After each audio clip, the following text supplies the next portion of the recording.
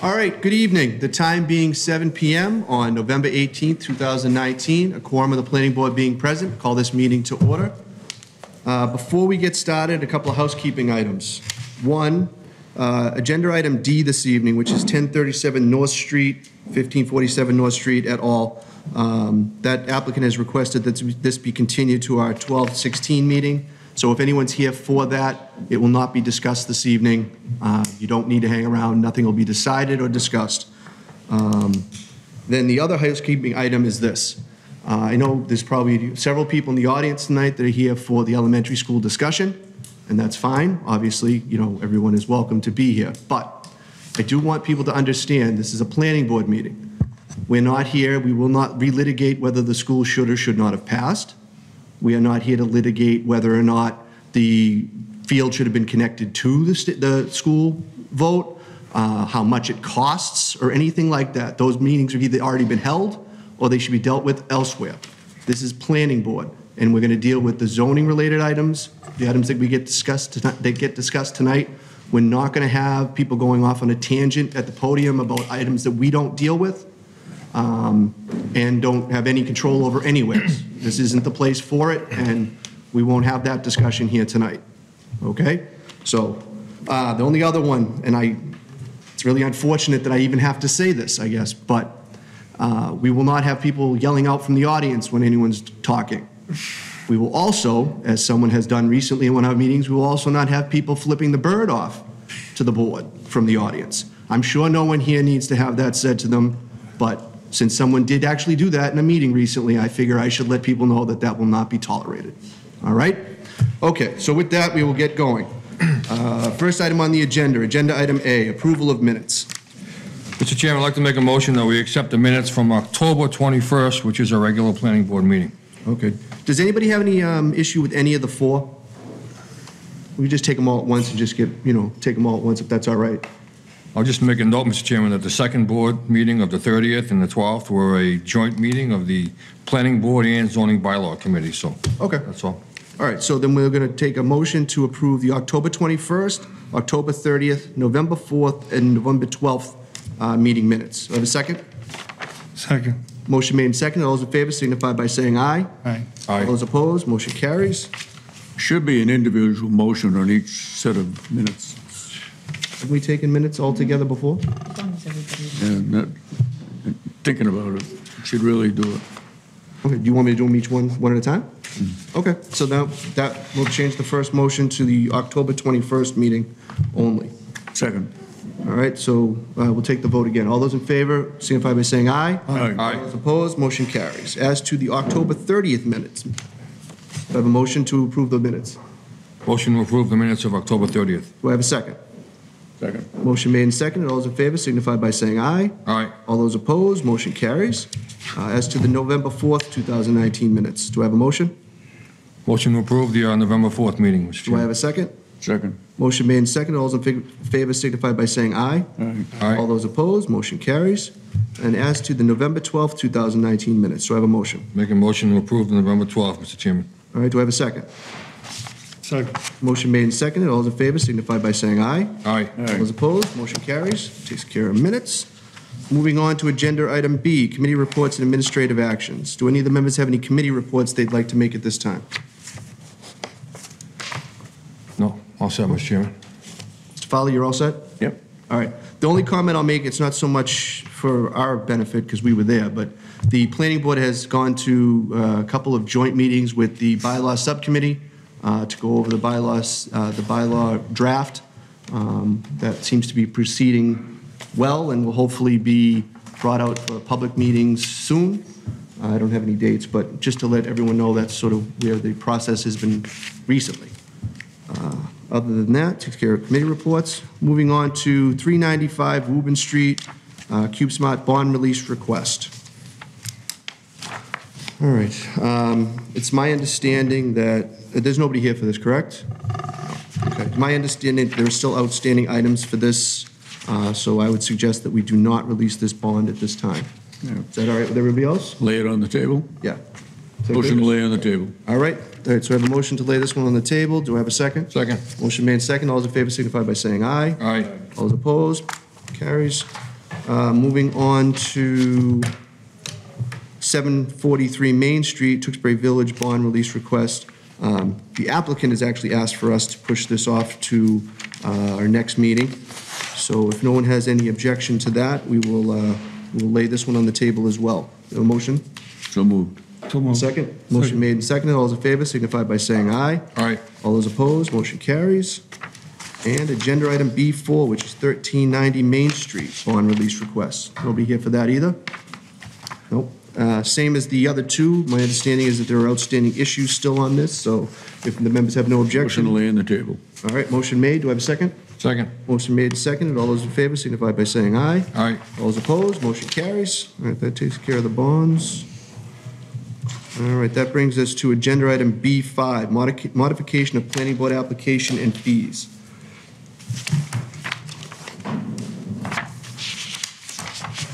B5, there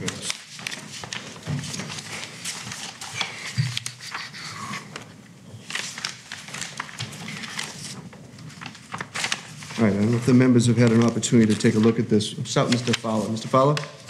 To be honest with you, I spent some time with it, but not enough to real, to uh, offer a vote on this because uh, I hadn't known that this was happening. Okay. All right, um, Mr. Delaney? I don't know, I have no idea at this point if it's acceptable or not. You know, the fees, I, we've never discussed it before. Okay. Uh, Mr. Fratelli? thank you, Mr. Chairman. I did take a look at these fees. Um, I guess like, I have a couple of questions that I'd like to present to, um, to uh, the uh, town planner who's not here tonight, but I was wondering where these fees are in in comparison to adjacent towns or towns in the Merrimack Valley. If they have a similar, similar fee structure, uh, what I don't want to do is to um, uh, be overbearing to people coming in to do permits and make it unbearable on their side uh, for potential business coming in. And uh, just as long as they're comparable to other towns and not uh, out of sight as far as what they're looking for fees for those, uh, and I wouldn't have a problem, but, um, you know, I'd like to have us take a look at other towns in the area to uh, review their fees and special permit fees, extension fees, uh, before I vote on this as well, so. uh, All right, so, I mean, I'm not going to say anything really much different than the rest of the members. You know, obviously, uh, to be able to go over a few of these with the town planner would probably be advisable. Um, So hopefully we can do that at our next meeting, and that'll be, give them enough time to incorporate these for the new year if we do that at the next meeting. So, um, guess we will table this one until our next meeting as well. Want to make a motion for that, Mr. Fowler? So moved. I have a Motion made, do I have a Second. second? Motion made and second, all those in favor signify by saying aye. Aye. All those opposed, motion carries.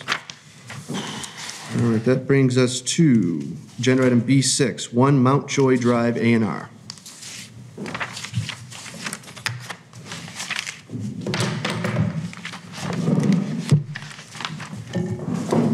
Good evening, Mr. Chairman, board members. Uh, For the record, Dick Chuko, uh, representing the George Soinus Trust. If you recall, we were in a few weeks ago, where we subdivided um, the existing house off onto a four-acre lot. Um, They now want to sell that home with the adjacent property, so they uh, have, we split it into three one-acre lots. All of the lots have the required frontage, the required area, and they meet the uh, perimeter uh, ratio uh, that's set in the zoning bylaw. And if you have any questions, I'd be happy to answer them. All right, Mr. Fratelli?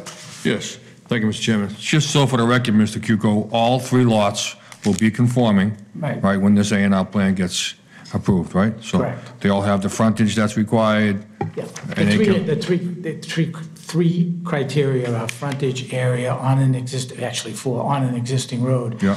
And the perimeter ratio, which Right. is gonna be going away hopefully in the, uh, with the new bylaw.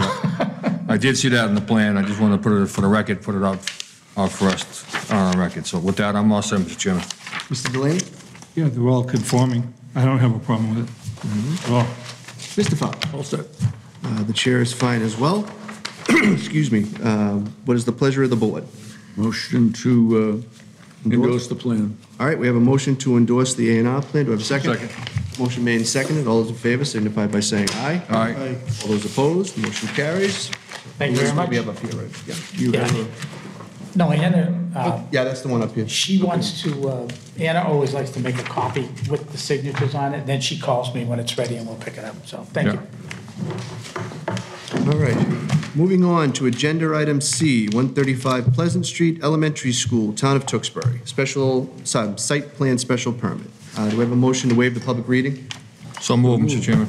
Uh, We have a motion made, seconded. All those in favor signify by saying aye. Aye. All those opposed, motion carries. Whoever's here for this, come on up. Gentlemen, we just have a, uh, a reminder request from the audience that when you're speaking, just make sure you're speaking into the mic, so, because you're facing us, and the folks in the audience will have a harder time hearing you if uh, you don't speak into the microphones.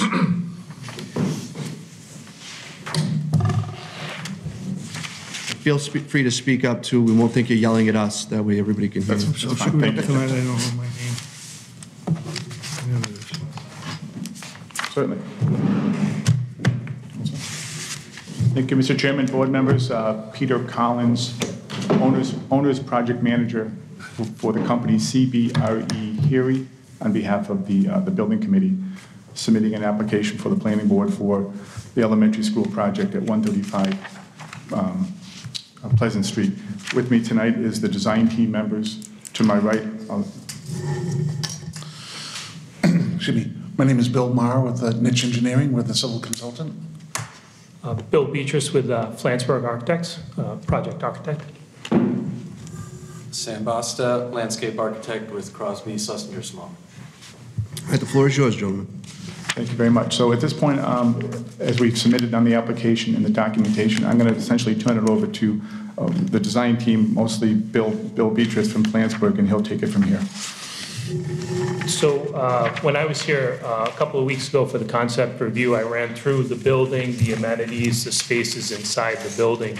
Uh, Given where we are now at this meeting, I think it's probably uh, in the best interest of everybody's time is to start with a general overview of the site plan, and then I'd like to turn it over to Bill Maher to talk about uh, specifics in terms of stormwater management and any other questions you may have, if that's okay, unless someone wants me to go Nope, it's into the fine. building.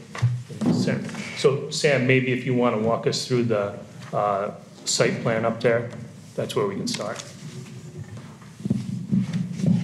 This is on? Yep. Great. Uh, So in the northeast portion of the site will be the new school building. Uh, Adjacent to that will be a new play area sized to maximize capacity so that we can get as many kids playing on it as possible. Uh, To the northwest of the site will be the new athletic fields, associated bleachers. Uh, And then ringing the site is a one-way loop road. Uh, You'll enter uh, on this plan sort of in the southern curb cut, uh, proceed around, parent drop-off will proceed around the loop, and they'll drop off uh, at a shared drop-off area between the two schools, sort of in this quad area. Um, You can also pull off in the satellite parking uh, and a potential grass field here so that uh, you can easily access the field if you're going to watch a football game or something like that. As buses enter, they'll, they'll turn a little bit harder and head into the bus loop, size for 16 buses. Again, that will be a shared drop-off for both schools. Uh, There's an existing vernal pool on site that will be, remain and be protected. Uh, I think that's about it. In concept, maybe Bill, you might want to walk us through the uh, technical aspects of the site? Sure. Uh, Excuse me. The, the site has um, wetlands, um, uh, a floodplain area, and a vernal pool. Uh, We recently have submitted um, a ANRAD, an abbreviated Notice of Resource Area Delineation, to the Conservation Commission. We received a, um, an ORAD, an Order of Resource Area Delineation, um, earlier this month. It has been recorded at the Registry of Deeds, and we are in the midst now of preparing our documents for a notice of intent filing with the uh, Conservation Commission.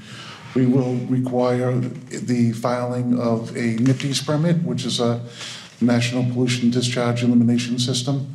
Because we are disturbing more than one acre of land on the site here, that will be, you know, something that the contractor will apply for um, once he has been selected, uh, along with all of his uh, subcon- subcontractors, uh, specifically the um, utility contractors and the, and the site contractor them- themselves. Um, I'd like to go over the uh, utilities. um.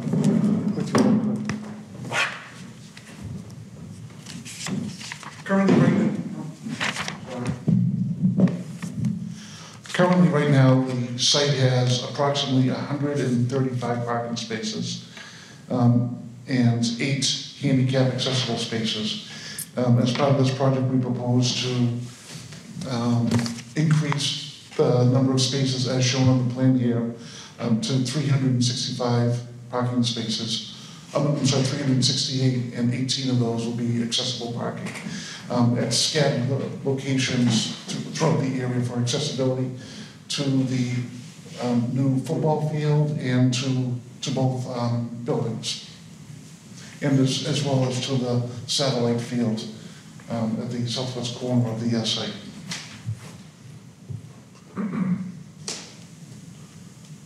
My apologies, I'm just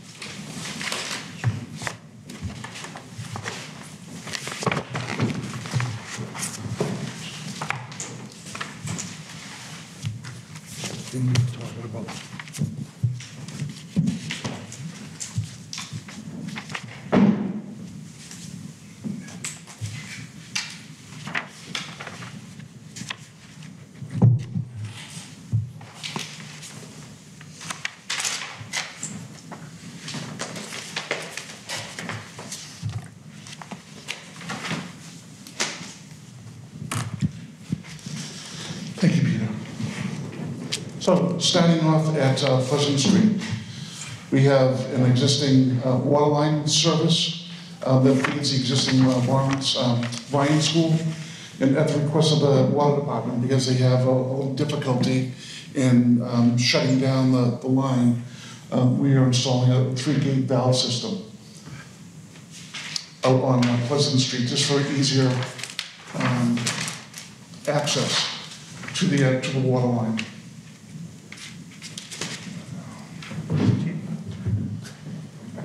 It's on the way.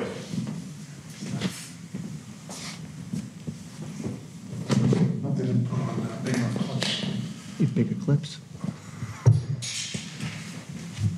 My apologies. Mr. Chairman, Yes, sir. if they need a second easel, there's one right there. Do you guys want that? Yeah, Yeah, go ahead. thank you. Oh, so- Oh. Loan those out too. Thank you. Usually the easel should be all right though. hopefully.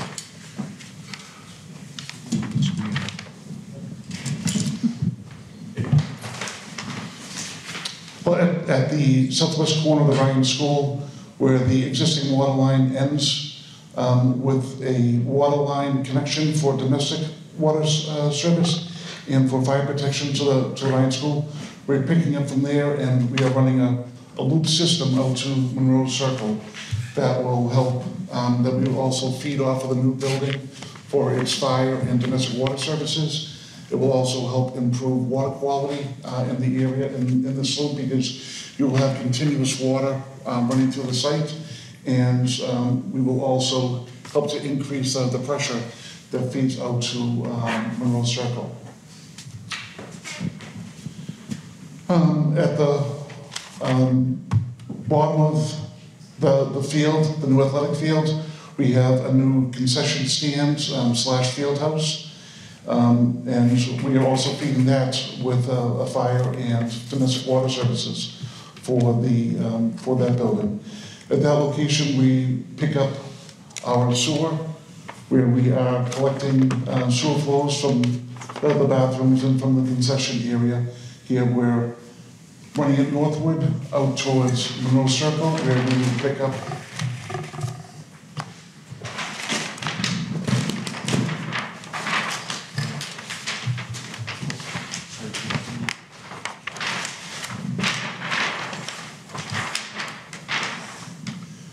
where we will pick up um, sewer flows coming from the, the building through a uh, grease trap, which is basically the um, kitchen waste line.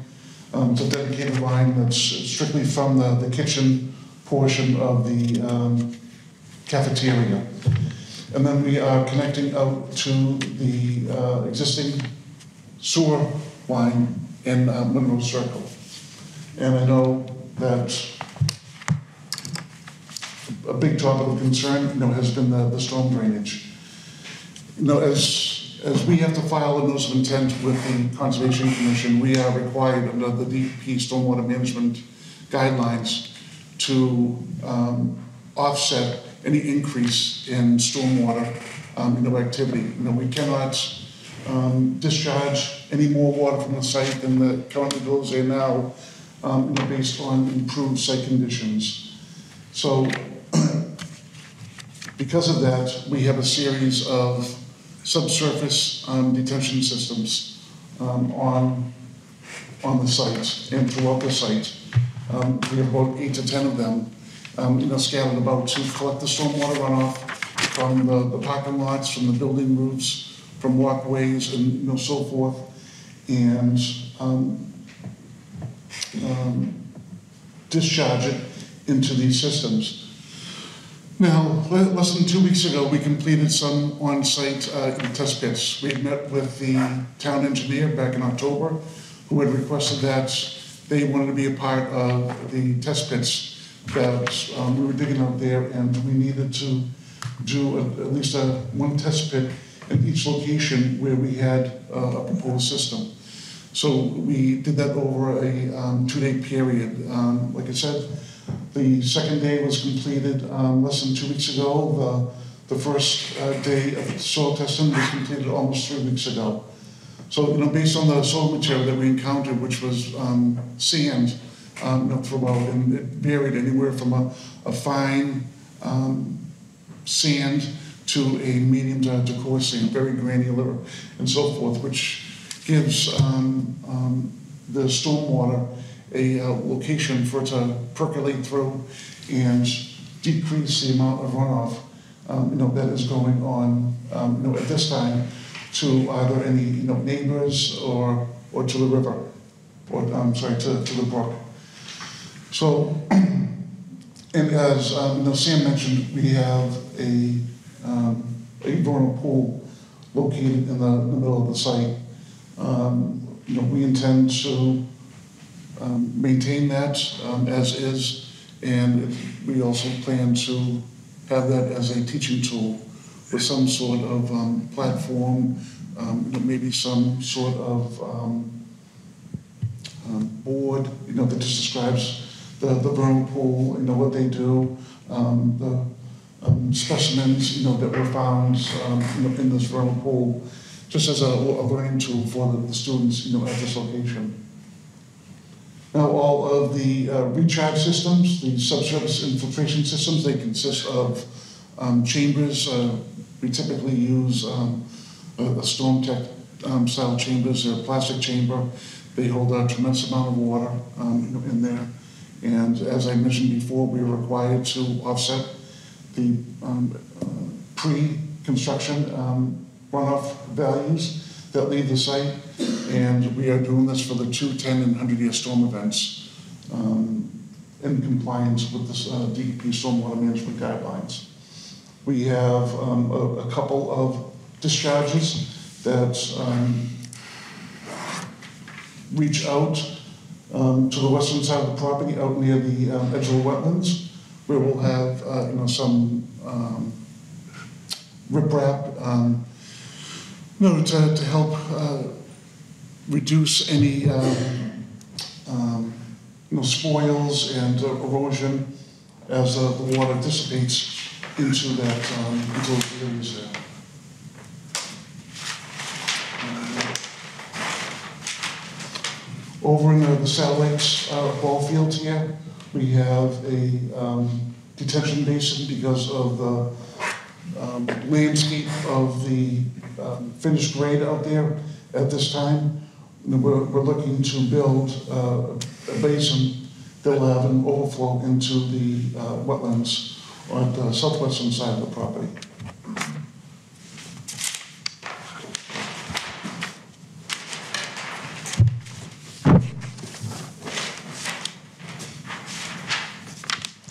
At this location, uh, is the proposed school, and you can see the, the the massive system that we have, um, you know, here to um, take the, the roof runoff from the building as well as from the the driveway in the, in the parking lots in this area and recharge that groundwater. And, you know, in, in uh, good housekeeping and in with uh, good standard engineering practice, we have an overflow system where if, if the, um, uh, you know, chambers, you know, fill up, you know, too much, um, you know, say there's a back-to-back heavy storms and things of that nature, then we have an overflow that will uh, go out to the, um, uh, to the wetland area. Well, they, they, they'll discharge towards the wetlands, but we're, we're not doing any work in, in the wetlands.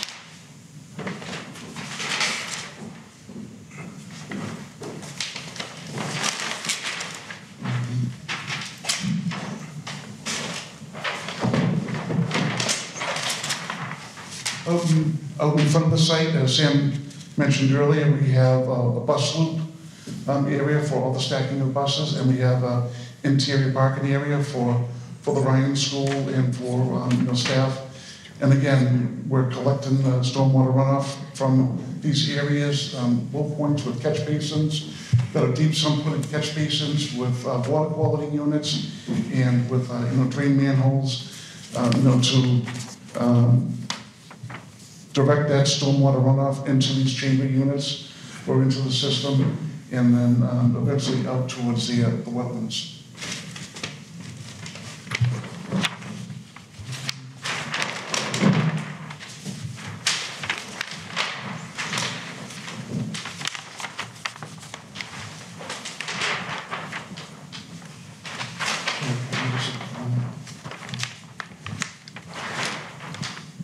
Um, The roadway around the, the site.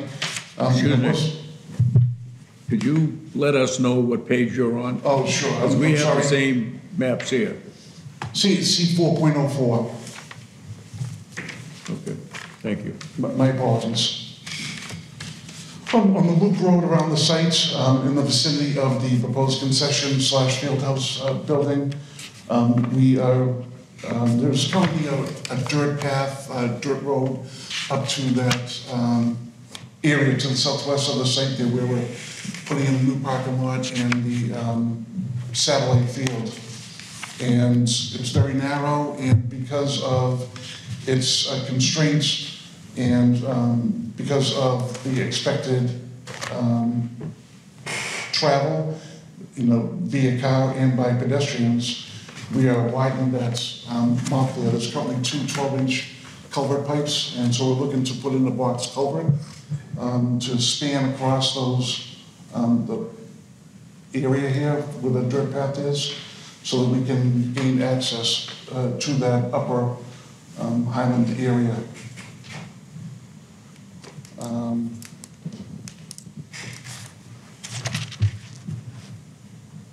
I I think that's about it um, for for now.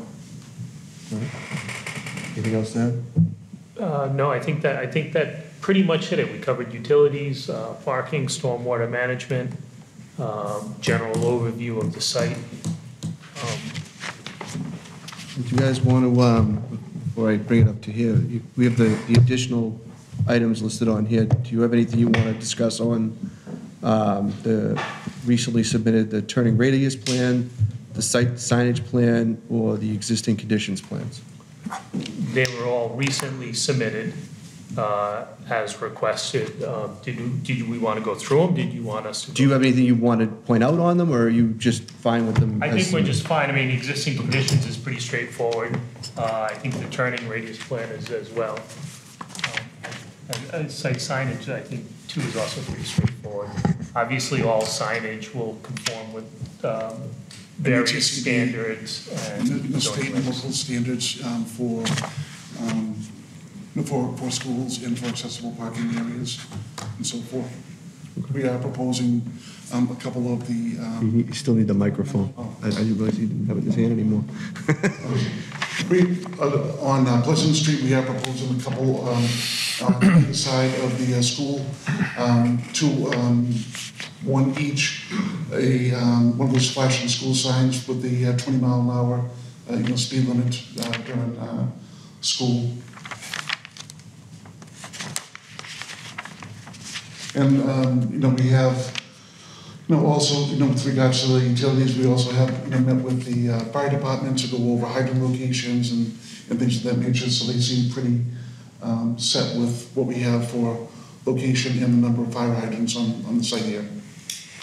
That's actually a good point, too. We've met several times with the police and fire to discuss not only hydrant locations, just general access around the site, their security concerns, sightline issues and such, so. uh, All their comments have been incorporated into the current design. Okay. All right, all set? Yep. All right. Mr. Fratelli? Thank you, Mr. Chairman. Uh, Just one comment. You mentioned about this recent documents we just received about turning radius and site signage and so forth. We received this at 6:30 this evening when I came in here. So for me to look at this and make comments on this is not possible. I mean, I know it came in this afternoon about 3:30, 4 o'clock to our office in town, but we were not given any opportunity to, to really review this. And and at this point, I can't comment on this, this stuff until I review it, just, just for the record, It's fair enough. okay? Fair enough. I mean, it's not really fair to us that it comes in so late for Understood. us and to my colleagues on the board to really come up with a, you know, opinion on what you submitted, so, all right? So, just so we know. But, um, a couple of questions I had regarding access into the site. I s- you- On the left-hand side is the, the, uh, the other secondary field, correct? Where the driveway is right there? Yes. Right? So, do you foresee any parents swinging in there during the day and then crossing over to drop their parent, their kids off at the school, rather than making the entire loop around? What do you think, Peter? I may. Sure, We use this one? Might be easier. That might be easier to use. Sure. Yeah.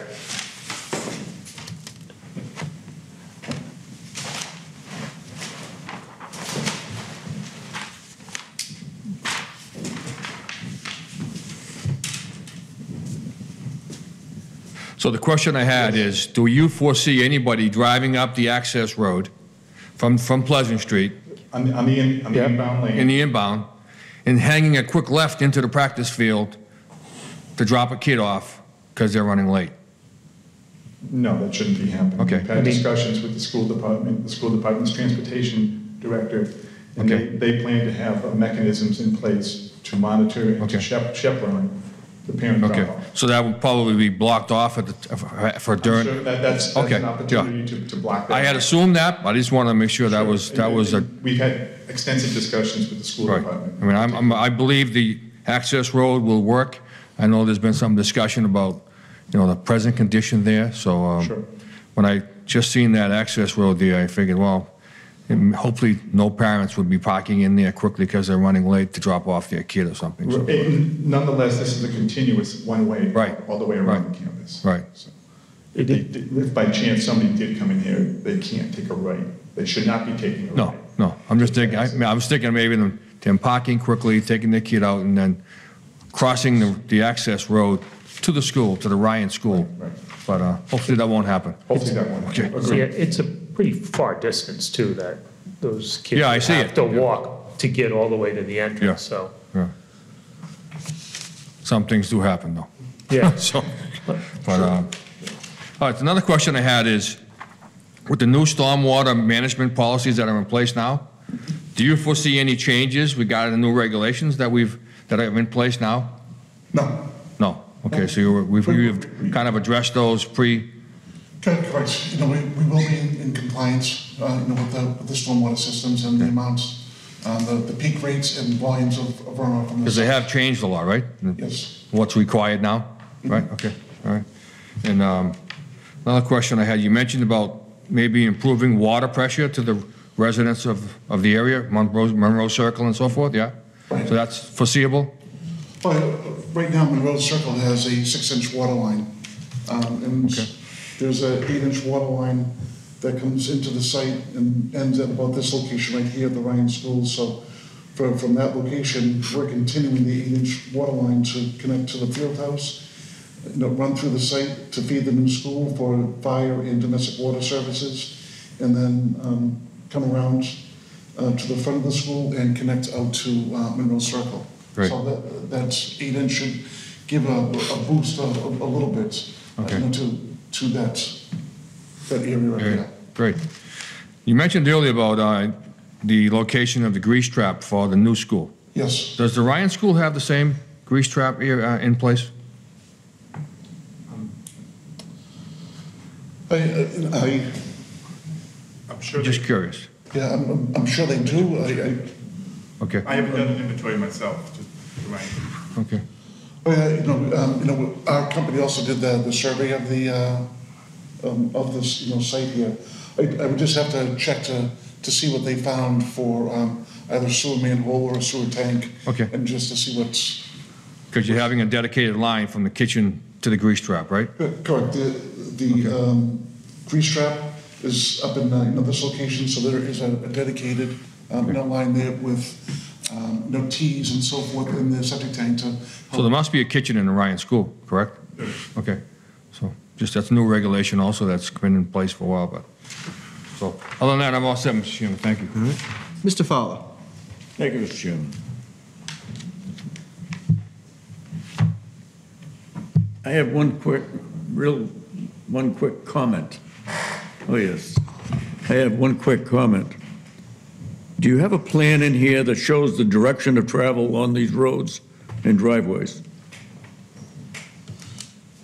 Uh, Probably, uh, probably not in terms of, uh, that's a plan that's marked up, that shows arrows going.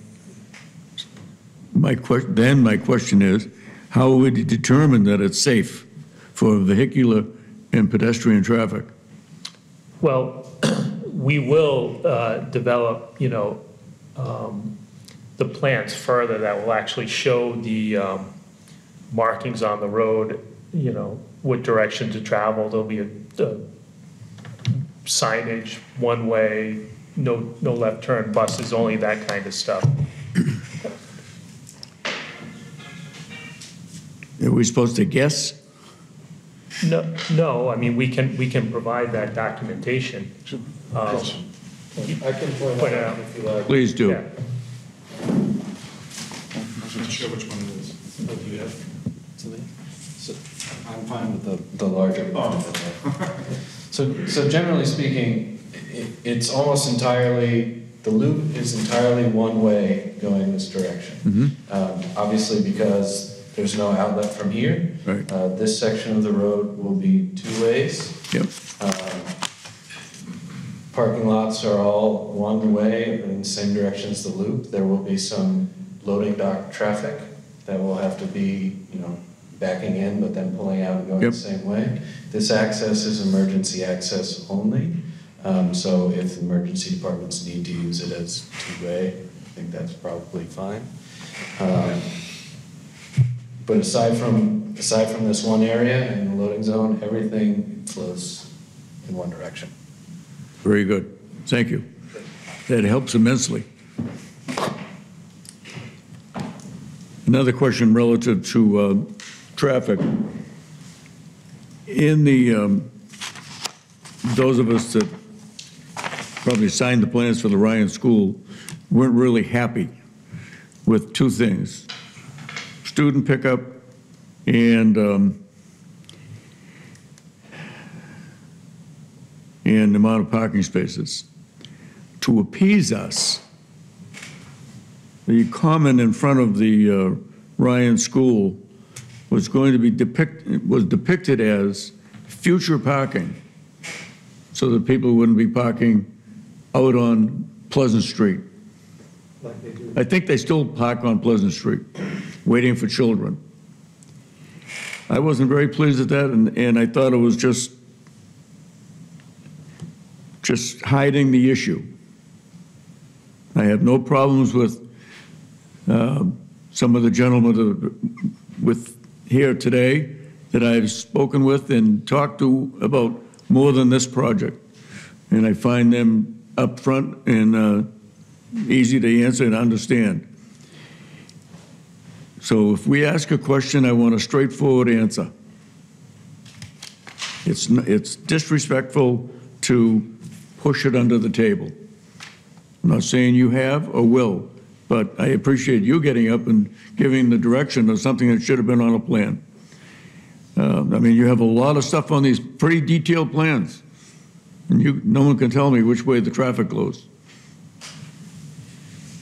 Part of the problem with the Ryan School to this day is student pickup um, at closing and dropping off, but for the most part, closing. They come in that driveway that you're calling the entrance one way, they pull over, well, first come, first serve. 40th come, you're out on Pleasant Street, and it's horrendous. I don't know how it's gone that long, as long as that school's been there. It's gotten worse and worse and worse, because no one wants to take the loser cruiser, the yellow bus. That's what they call it. The kids call it that, the loser cruiser. Um, I listen to the kids too. So I just hope and pray that all of these things that we're seeing with the Ryan School has been addressed in the new school. Um, I look forward to dealing with this in the future. Um, I hope and pray that the parking is adequate. It looks it, you know, based on what we had before. Mean, it's a similar sized school, similar population, so I can't see why you would need more than that. But, uh, oh, I, I did have one question. S- School bus stacking, when they come in, is that in the front? That would, that would be in the front. This, th- this horseshoe. Yep. Will be, this is where the the buses will. Where the yellow line is? Yes. Yeah. Yeah. Okay, very good. All right, thank you. Um, I guess that is it for now. Thank you. Thank you. Mr. Delaney? Yeah, with all the meetings and all the things that have gone on, with that situation that exists Jake. on Pleasant Street. Jay? Jay. Just pull that mic to you, one of them, just Oh. because with you turn, you're going to lose the pickup. Finally, you know, I've been convinced, or people have told me, that the loop that goes around the school is going to handle the pickup and drop-offs. And I'm taking people's word for it. I just don't think all the time, when you have a, a perfect situation, that people react to a perfect situation. But I'm willing to go along with what Mr. Fowler was talking about and what I've been talking about right along. That's the only problem that I could see with the building of this school, was what took place. We're spending $100 million, and I want to, I keep saying to myself, I want to make sure with that $100 million that we're spending, that the Pleasant Street situation is taken care of. And slowly but surely, the more we talk about it, the loop that goes around is, is the answer from everybody I talk to. I just got to hope that that's the real thing and it gets monitored that way. The other thing is, with the stormwater that you've been talking about, there's a tremendous amount of roof, water, driveways, and so forth. With the things that you're building to hold the stormwater, is there, in no way will this affect a, like a, a tremendous amount of water going in to the wetlands all at one time? No. It won't affect the wetlands? No. It won't, all at one Well, time? as, You know, as, as I said, we, we are required un- under the DEP stormwater management guidelines, that we cannot increase the amount of runoff from, you leaving the sites, or in, in this case, going to the wetlands, or going off-site, you know, to any abutting properties. We cannot increase it. So we are capturing all of that rainwater on the site here, and we've got a number of subsurface infiltration systems that will collect that water, recharge it, and because of the, the good soil that we encountered over there, you know, will recharge that, you know, into the ground. And, you know, any spillovers, you know, from it, any of those larger storms that are quick hit storms, and, um, you know, the, there's a low capacity in the, uh, in the system there, it'll overflow into the, towards the wetlands there. But it's, it, there, there is a, a decrease in, uh, as I mentioned earlier, in peak rate and volume of runoff, you know, going to the, uh, to wetlands. I think, uh, I think basically through the meetings and so forth that we've been going to and listening to and so forth, the, the questions that I have, I think have been answered. I just want to, the only thing I want to make sure is that the pickups and drop-offs are monitored the way the people say they're going to be done at the school. Because all it takes is one mother late for work in the morning to, to drop her child off someplace through that loop if she's tied up. You know, and I want to make sure that that doesn't happen. Thank you. Thank you. Mr. Fowler? I forgot one question that falls in line with what I asked before. Hmm? Are the times for the Ryan and the question mark school staggered? How much of the staggered? Any idea? Yes, I can answer They that. are staggered. Oh, thank you, Yes, John. They're about 45 minutes difference, both drop off and pickup. And Very with good. respect to the whole conversation about traffic and parental drop off and parental pickup and such as the questions that were asked. Good. We have had a lot of conversations many times, not only from the board such as yourself or town agencies such as the police department. Right. The school department is very adamant about controlling the traffic and having monitors in place and control features to make sure the traffic flow is equal and, and flowing and there's no disruption. Thank you. All right, okay, so some of these I think we've kind of discussed, but I want to say them out loud again. So uh, for the loop, there'll be um, speed reduction measures put in to make sure all throughout, uh, so that, you know, no one's using it as a speedway to get around to the back, you know, the front side, because. We- Go We ahead. have, Use- yeah. we have strategically placed uh, raised crosswalks Yep. um, at locations around the the perimeter of that roadway. Okay. So, uh, you know, and and Mr. Fowler had asked about, you know, at some point, you know, bring us in a plan that shows the, you know, the direction, the si- all that stuff. But I think included in that, just as more of an FYI, if you could give us, and I'm, I'm not asking you to give it to me wrapped around the entire loop, but a, um, a queue of how many cars you can, you can have, because I mean, again, everybody has this, they know what they see there now. and Sure. The way the cars queue up. I don't know exactly how many cars are at the Ryan School in the morning, but obviously this is a one-way loop. It's enormous. I don't care. If you had both schools show up there at the same time, I still don't think you could possibly line up enough cars to wrap around this entire thing. So I can't see how anybody could possibly end up out onto Pleasant Street. But if you could just give us a number to some place over on that sort of northern graphic that. Yeah, shows the length of cars in that queue. right. Yeah. Um, Just, just as an idea of exactly how many cars would wrap around this thing before you Sure. could possibly end up stuck back out onto. Maximum, Yeah. from the, from the drop-off point all around the loop. Yeah, you don't have to put them all on there. Don't, No, no, I know. them all drawn. Just give me Yeah, a no, number. no, I know. You know, draw a few over here in the drop-off maybe, but, you know, I don't want them all wrapped around.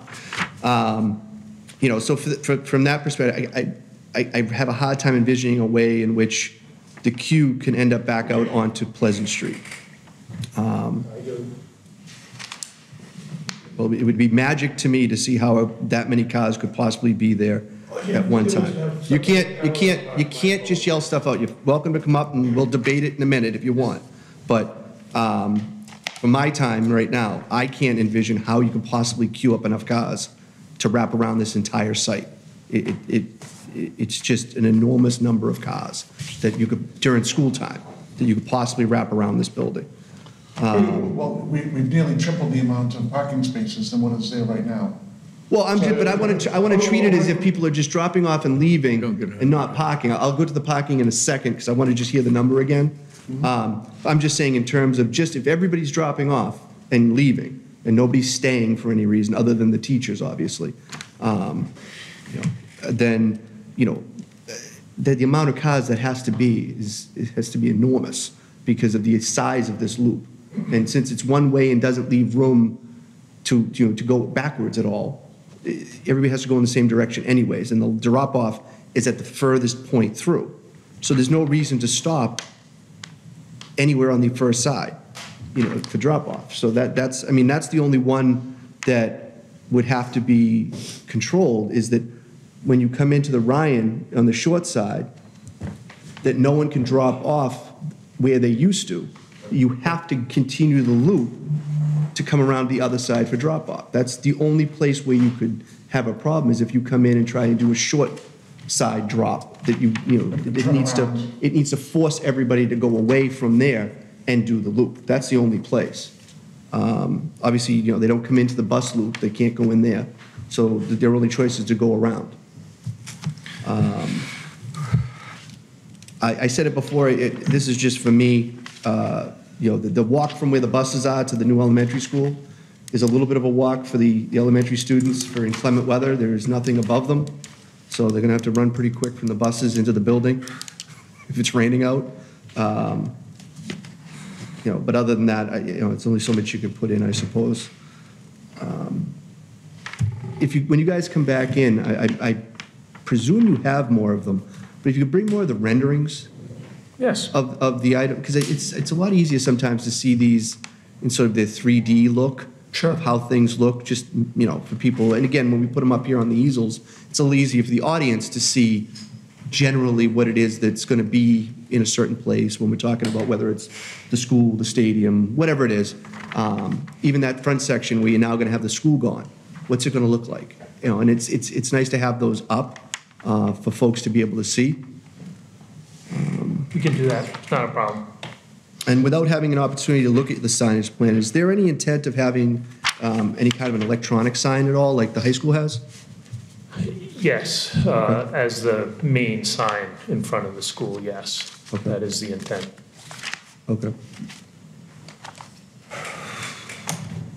All right, So uh, did, uh, I have up here, there was a list, and you guys supplied some of these items tonight, so I'm I'm guessing that they came from you being told that some of these things were missing, but did you get a list of items from the town planner, of items that were not yet submitted? That's the list from the town planner. Yes, we did get a list from the town planner. Okay, because, well, those, those are the plans, but I've got traffic study, existing conditions plan, layout plan, master sign plan, drainage calculations, land disturbance permit, I'll get to that in a second, turning radius plan, and locus map. Those were all items that needed to be submitted.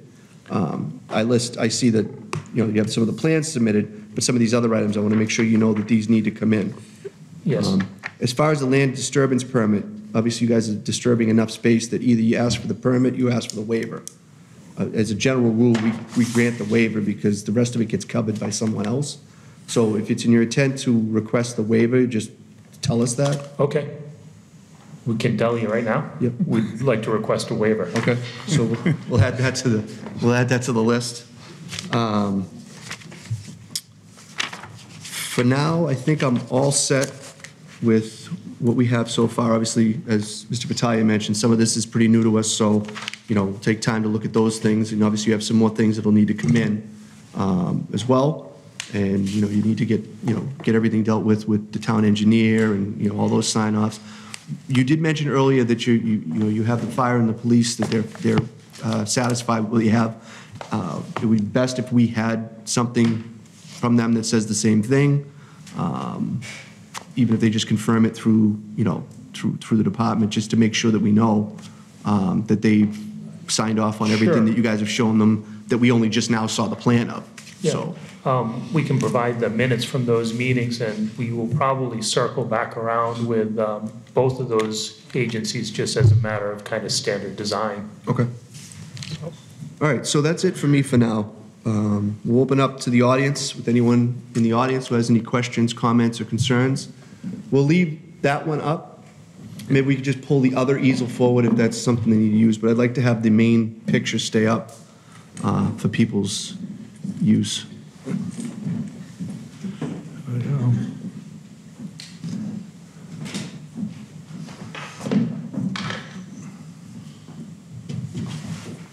I went I went over to Staples, so I have all kinds of, the same thing.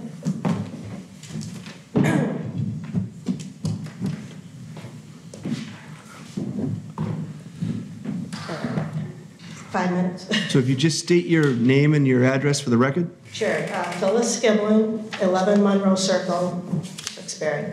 Um, I, this is Monroe Circle along here, and many of my neighbors are present because we have a concern about this whole project.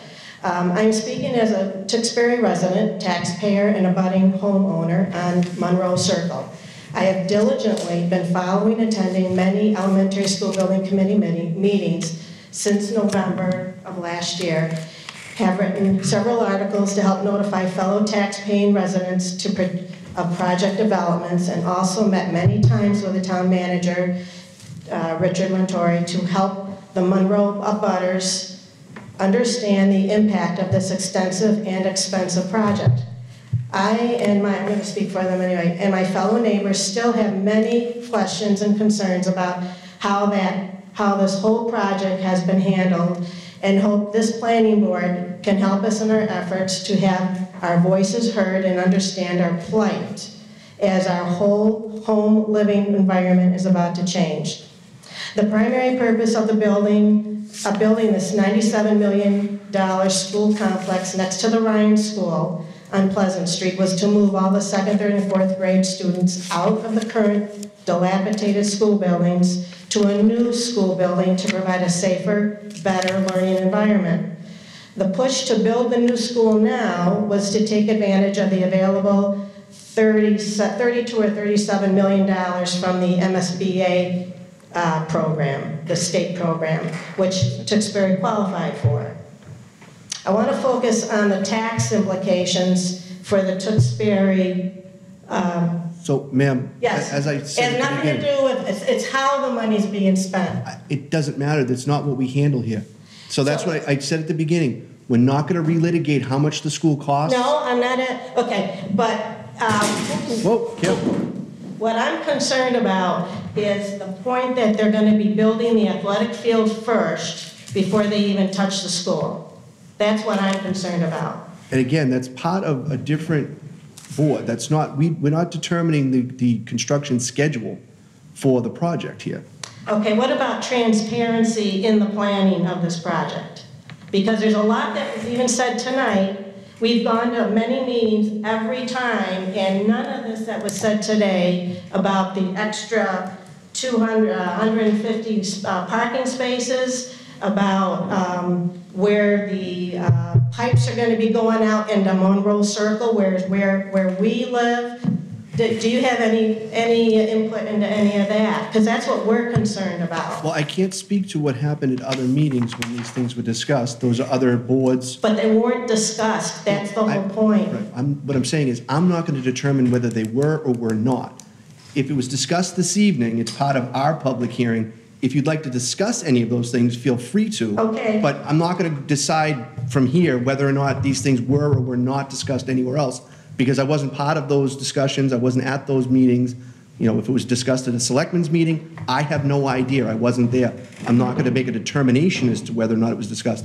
If it's brought up here, feel free to discuss. but can I make a, a point that it was not discussed? You can state your opinion that it was That's not discussed. opinion. I don't know. All of this is my opinion, all right? But I'm- All of this is my opinion. But I want to stick to the things that are brought up here, and if you want to discuss any of those items you just did, feel free to, but not about whether they were discussed or not. Here's your chance, because they are being discussed here. Now you put me off here. Find your place, your time stopped when you, when you knocked down your picture. So I'll give you a second. So the, the, let me, I guess let me just ask you, the point that they are going to be, well, this, let me just tell you one major point that I want to bring up. This is a rendering of the floodplain. This is from their documents that they've handed out. about uh, no disturb lines, no build, no wetlands. This is the new field, and here's the new school that they're gonna be building. And the plan is to build this first, while apparently they're gonna be preparing this land. So there's a construction site going on here. They're trying to build this school to have it ready for the 2020 football field season. There'll be no field house, no bleachers, no uh, toilets and all that. Sorry. Um, And it's just the point to have that available. Also noting that this is in, a- it's it's in an area that has in the past been marked as concerning with the water table, as far as this floodplain and all these other lines that I just mentioned. Um, So we have a concern, I have a, I have a concern about them putting this field out here in a construction area over here, um, first, before this is, even the money hasn't been taken out to, to build the school.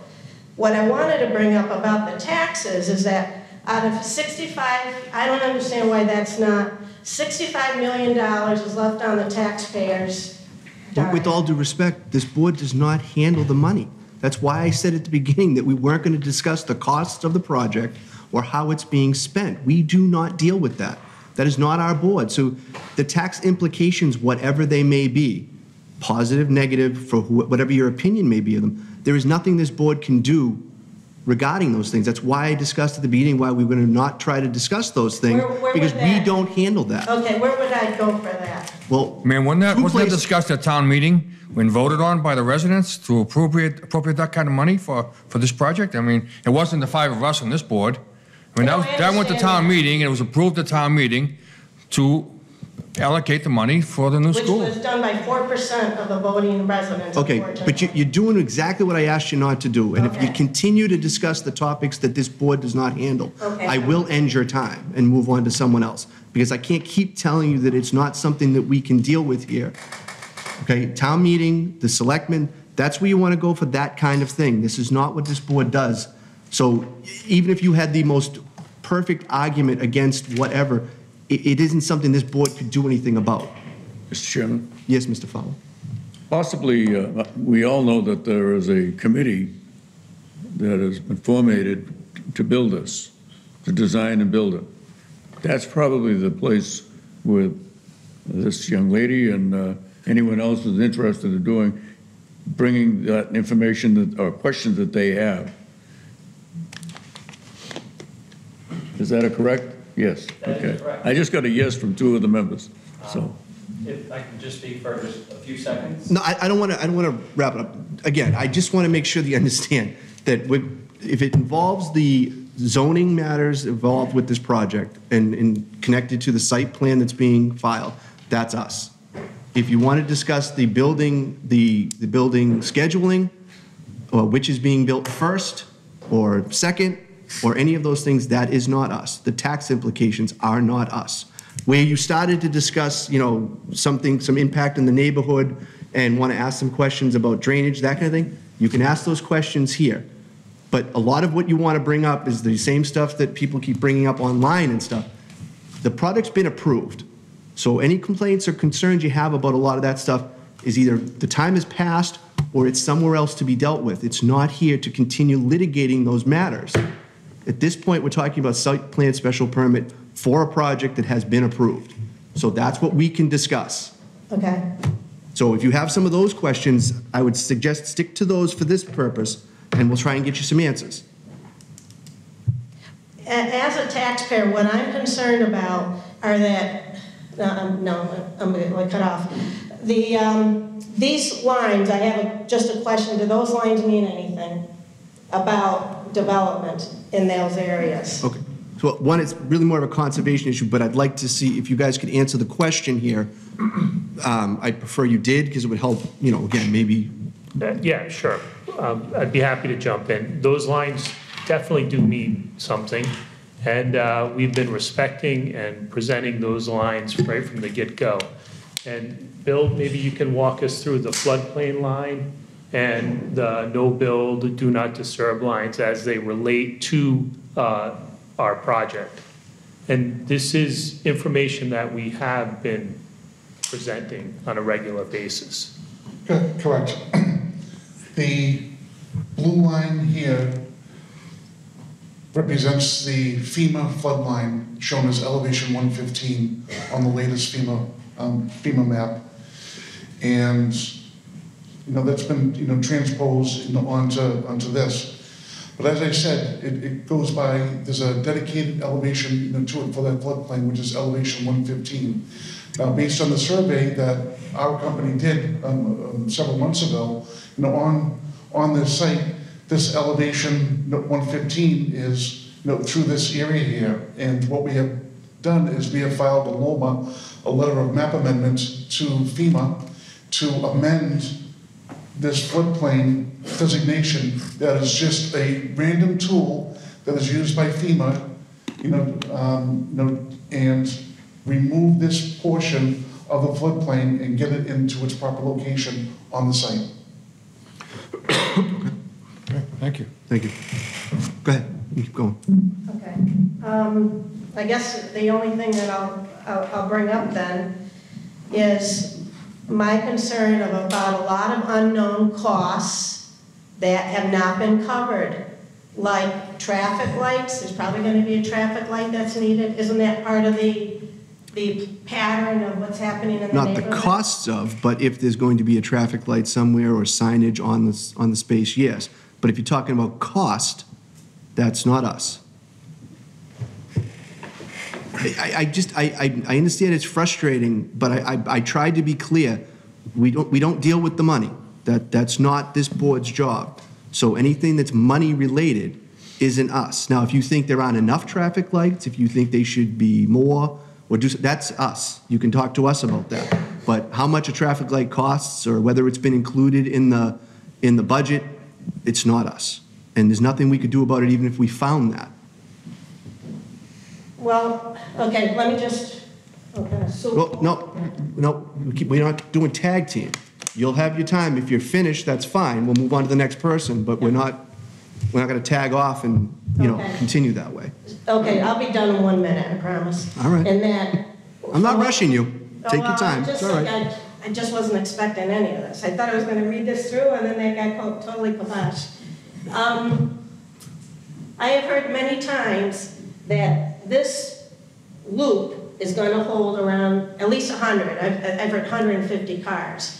We have a lot of questions about whether that's gonna be done or not. People waiting hundred and fifty cars worth to leave their kid off, because they already don't do what they're supposed to do with Orion. So there's already been problems on uh, Mount Ple- on Pleasant Street, Summer Street, a lot of times, especially when things are blocked up with construction, is a mess that you can't even get out of our road here. Um, I'm just trying to think how I can put it so that you'll listen, listen to me. Um, I'm concerned about. Just bring the mic back over. I'm sorry, you. I'm concerned about the, uh, the high water table that we have here and whether or not uh, building, like for instance, these are the bleachers that are supposed to be a thousand, thousand capacity seat bleachers that are going very close to no disturb and uh, all these topographical lines here.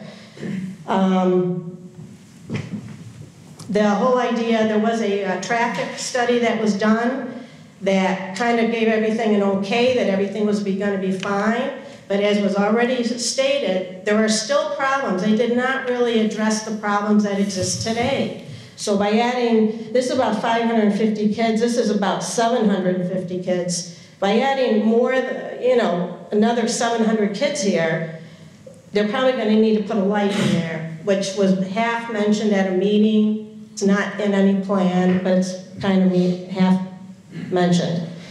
And I'm just plain concerned about how much, I mean, this is what it looks like right now, and how much they're just kind of shoving into this whole area, where we're sitting right here. Um, It's just going to change our whole life. and that's the way it is. But there's so much you can expect, you can accept. We accept what's happening with most of it. But when, I, I'm gonna just say it again, when we're told just last week that they're gonna build this thing back here in wetter areas, lower wetter areas, before this is done, and the, and the, before this is done, um, it's very upsetting that we feel that, the- I feel, that transparency in the development of this plan has not been there. Even just what was presented today. We were, I was at a meeting on Thursday with the, uh, the school committee, the elementary school building committee. I go every time, and none of that, the, you know, there's 135 parking spots, and now there's over 300. And I'm thinking, I couldn't see what it was, but I'm saying, "Why- my God, where did they put the, the other parking spots? Why wasn't that stated last week? That's the, the transparency of this whole uh, pro, uh, process, project has been very questionable at best. So anyway, um, that's it. Thank you. Thank you. Um, The only comment I'll make about the parking and why it would be brought up here is they're required to tell us how many spaces are going to be on the site as part of their presentation to us. Whether it wasn't, it wasn't discussed anywhere else, I have no idea, but the reason it's discussed here is that they're required to tell us how many parking spaces are going to be on the site before and then after the project. Um, So that's why it would be brought into us and why it would be shown on a plan here. Where else it may be discussed, I don't want to speak to. I'm just saying that's why it's brought up here and why we discuss it. Okay? Can I make a comment? Sure. And just, just that, um, we're concerned about how much is being pushed into this very small, congested, questionable quality of land, uh, the, the, the way the land is, how much is being put on there. So to say that they're adding another hundred spaces or something, we're thinking, where? Because they already have a chock full amount of stuff. Would you, would you like me to have them show you where they've added them from where they No, are I now? can do it another, Okay. look another time. All Thank right. you. All right, uh, anyone else with any questions, comments, or concerns? Come on up. Uh, Wait till you get up, just state your name and your address for the record, and then the floor is yours. Teresa Duchesne, Monroe Circle. Um, My concern is at another meeting, uh, the superintendent of school uh, was concerned that there already, before a shovel has even hit the ground, not enough space For what? for his administration, which is going to be in that school. I- Again, Is that- that got that's nothing to do not, with the planning committee? that's, that's the interior of the buildings in terms of where they're going to put everybody. I, that's something dis- discussed amongst the school committee and elsewhere. That's, we wouldn't alter the building to, to make more space for the administration offices. That, it's not, it's not something we would do here. I, I, and I wasn't at the meeting where the superintendent raised his concerns about space. It's, again, we'd be Mr. back to the Chairman. school committee building, building school, you know, I'm sorry. School building Yeah. committee to discuss those kind of items. Um, We work basically with the footprint of the building, uh, not the footprint of interior. The building isn't large enough for what we need it for. Okay, well, but we- when it's brought here, it's to talk about, again, in the footprint as it is. How it's being set up on the inside is not for us to determine. Isn't there a certain square footage um, allotted per employee or per student? Yes. Wouldn't there be a certain square footage allotted for that?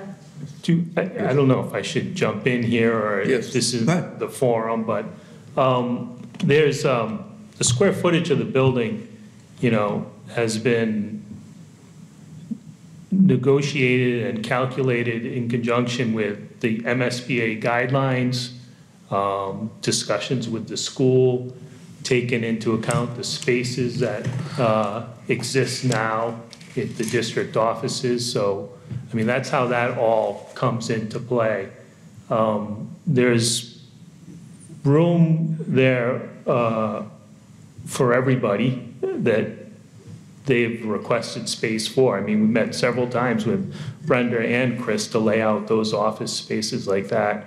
I think Chris's, uh, one of Chris's concerns were like, you know, if you look at their space right now, I mean, they're in an old school building, kind of retrofit in there. So, like, their office is a classroom, you know? Obviously, they're not gonna get, you know, a classroom office in the, in the new building, but That wasn't The short of expressed it- it at the meeting. But the short of it was that, yes, there is, we've talked with the school department on many occasions to, to figure out exactly what their need and to give them, give them what they need, space-wise. You know, I mean, it's, Well, just so you as the planning board understand that the superintendent of school expressed he didn't feel as though there was going to be enough space for his staff. And where is the, the need for growth at that point either? Does Tewksbury not take that into account, that you want growth for the future? And here we are building another school without room for growth. Mr. Chairman, Hold on. Is that part I I ha- I have to ask this question. Sure. Was that public, was that a public comment by the superintendent at a meeting? It was at an elementary school board meeting, so would that be public? um, So, hold on, but, but I- I'd like Don't to address, at me, but come up here and speak with me. hold on. He- Miss, everything gets directed to me, not to the audience. As far as leaving room for growth in the school, has that or has that not been addressed? that has been addressed as part of the uh, design with the MSBA. You've got to, uh, you got to dedicate a space where, you know, the school can be increased by a certain percentage. I don't recall off the top of my head what that percentage is. I don't know if you know. But, but yes, that has been talked about. Good. Did you have something to add? No. Oh, you're just coughing? Um, just- Yes. That's fine. Okay. All right. Did you have something else? I didn't have my, my answer. The So answer to is whether or there- not there's enough space in the school? Sure, is, Isn't- is, does. I'm sorry, could you is just Tewksbury restate what you just said? for growth? There is planning for growth as part of the process with the MSBA, as part of our design. We've got to show where this building can be expanded. And as we've talked about at um, a few meetings now, um, you could potentially add a story onto this building, where we have one section that's two Correct, which stories. is right by my home, Right. and I was told that there would only be two stories going up on Right. that section. And there, there is. Yeah. There's only going to be two stories in that section, but that's the, that's a space that was earmarked for potential growth if that should happen. But the MSBA, you know, these schools are developed based upon enrollment projections that are done by an independent um, agency. And it's just one of the things that we have to accommodate for.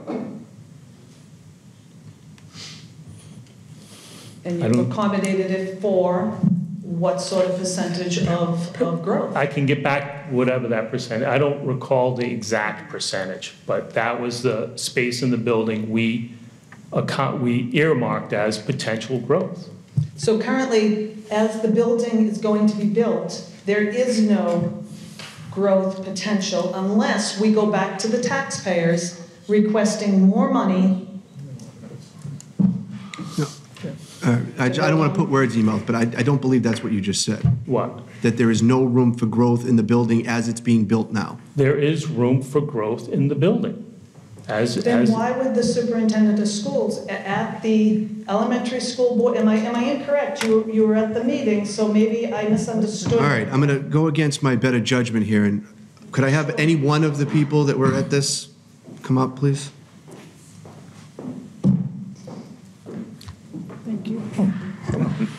State your name for the record. Sure. Thank you. Um, Thank you. My name is Anne Marie Stronach. I am the chairman of the Elementary Building Committee. The, I was not at the meeting where the superintendent did express that he was concerned with the space of the administrative offices. However, I did have the opportunity to speak with the town manager who was present, as well as the project manager regarding the concerns allayed by the superintendent. The issue is similar to what our designer has spoken to, is that the current office space that the administration has is very large, and the space that they are moving into is not as large. In the last meeting, I was speaking with members of the administration who have several ideas to address this situation. Um, When, in the past, they did, were not in, housed in that building, there were other components that were of the administration staff, similar to IT, wasn't located all in one central office. The superintendent at one time was at the Dewey School, the IT was at the high school. So there is room for that. In order to pick up everything that is currently in the administration office and put it into the space that is at the new proposed site in locations, the office space definitely is a smaller space. But in terms of person to person, that's not the issue. The other thing is, we have been speaking, and I think that um, people are aware of this, about working on the DPW and the storage of the equipment for the maintenance and facilities department. So we are looking at that as well. So basically, that's a big component of it, is where the maintenance people will be held. So the concerns are the maintenance and the IT, which the school department could be addressing through other means. But it's basically because we're not building a whole new school. Um, I'm not sure what the square footage of uh, the current space is off the top of my head, but it is not replicated in the new building. Okay, Does that help? okay, thank you. My second question is the traffic study that was done. Um, uh, The superintendent also had brought up that his concern about the traffic study, and I am not verbatim, I, I, you know, don't have his exact words, but that he now wants a traffic light, which also you need to go back to the taxpayers for more money for that. What was the purpose of spending all that money for a traffic study if, you know, they didn't know that you needed a traffic light? Okay, uh, Not part of the planning So- board again? don't be a wise guy. I was going to ask the question, what I was going to say is that when the traffic studies are done, things that are required are one thing, things that might be suggested are something else. So there might be a suggestion that a street light would be a good idea, but it's not a requirement, which is why it wouldn't be an absolute. So the superintendent could ask for one, then it would be a determination as to whether or not to do it, as opposed to when a traffic light is required. But I appreciate the snark, but I'll see if I can get a better answer for you from the table. Thank you. Go ahead. Um, We did do a traffic study, and I, I don't have it committed to memory, um, but I do not believe a, um, a light was required by that traffic study. I believe you guys have it now, too, because I think we submitted it as part of. Yeah, it was one of the that things on the list that package. didn't come in in this package, but I think you may have, already- we're Came- going to want to look at updated that again, though. So if we can look at that, or you guys can look at that, uh, and we can come back to you next time. Well, just want a more definitive answer the, between the required and the not required. Sure. And then we can follow up on the superintendent's comment on it. Uh, He's not in the room, so I don't know, it's kind of hard to know what exactly his concerns may or may not be. I, I don't recall him, I'm not saying it didn't happen, but I, I I don't recall him saying that, um, so. um, I mean, he's, he's free to, he's more than welcome to suggest adding one. We'll Yep, right. determine after that whether it's warranted or not. Any other questions? Thank you. Thank you. Thank you. Anyone else with any questions, comments, or concerns, please come up. Yep, oh, absolutely. Come up. I'm Donna Haynes from 12 Monroe Circle. I just have one question, and I'm very curious about the, um, bringing the storage onto Monroe Circle, okay? And the reason I'm questioning about it is I want to know that, that some, this one thing gets done before you just mark in your plan that that's what you're going to do, and that is find out whether that pumping station that they put in on Monroe Circle to service 12 houses is going to take care of the capacity of what they're going to be putting into it. Because, you know, and we had, we already have had a flood down there once because of the runoff on the street, because there's no, no drainage, you know, no no control of water on streets in this town in many places. And we waited years. We were at the end of the line to get the storage. And we've already had problems with it. And I want to know, you know, what, are you sure that that pumping is going to take care of you? Yes, and I think Bill might be better to answer that question.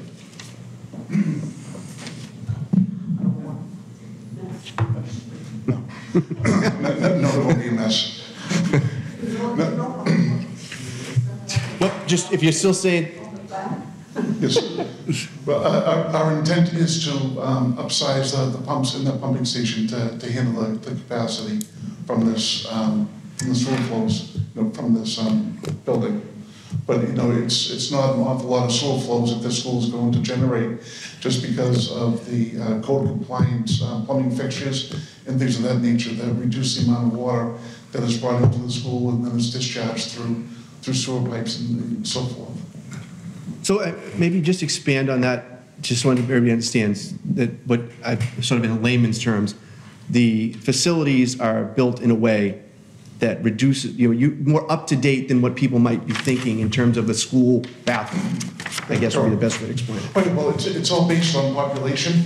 Um, you know, they, they assume, you know, based on the type of school and the number of students and staff at that school, it'll generate, um, you know, say five gallons per day per student or staff member, you know, at the site there. So if you have eight hundred students and staff, you know, it's gonna technically generate about four thousand gallons of sewage, uh, you know, per day.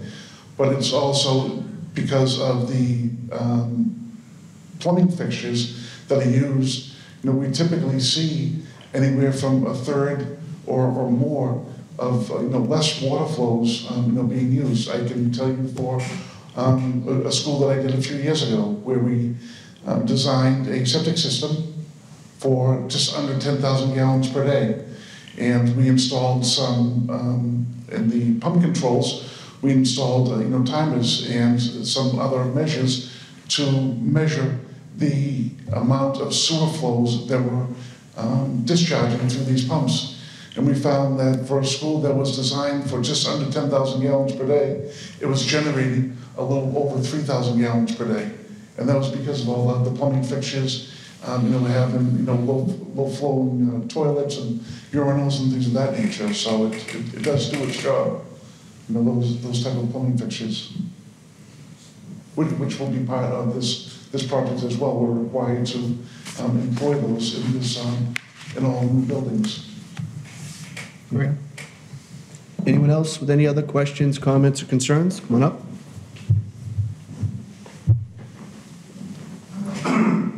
Great man, Six Monroe Circle. I'm going to bar.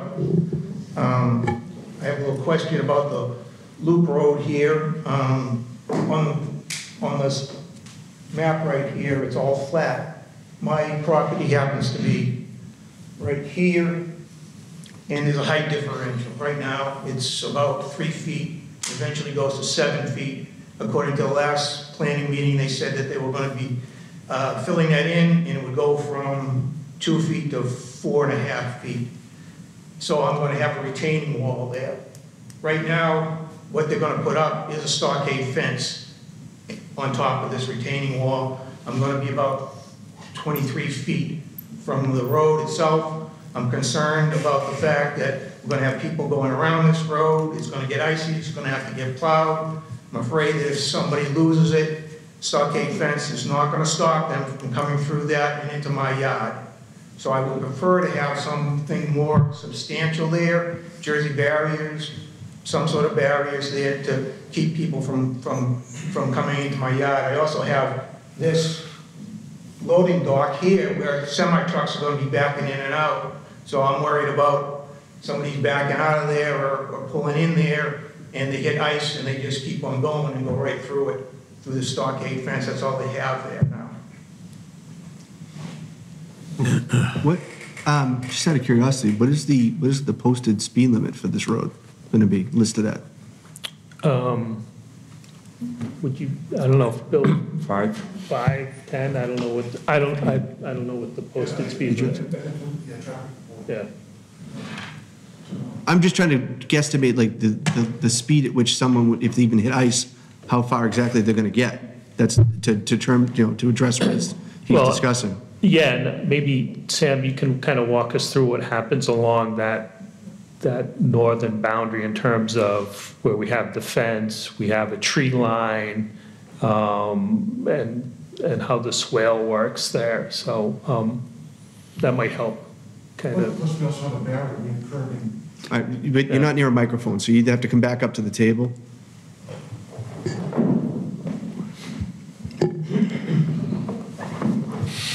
Sorry, we, we also have uh, a a barrier there, basically curbing on, on both sides of that driveway. So it'll be a, a- have a six-inch reveal, so it, it will stop, you know, vehicles if, if there is some sort of runaway to, to, to some point. We've also got, you know, screening, um, you know, there with, um, some tall shrubs and, you know, so forth. I don't want to cut you, off, but I mean, again, when we look at sort of the landscaping and all that mixed in, probably maybe we'll get a better idea, but um, like I said, I wanted to make sure we have some answers for what he's asking about.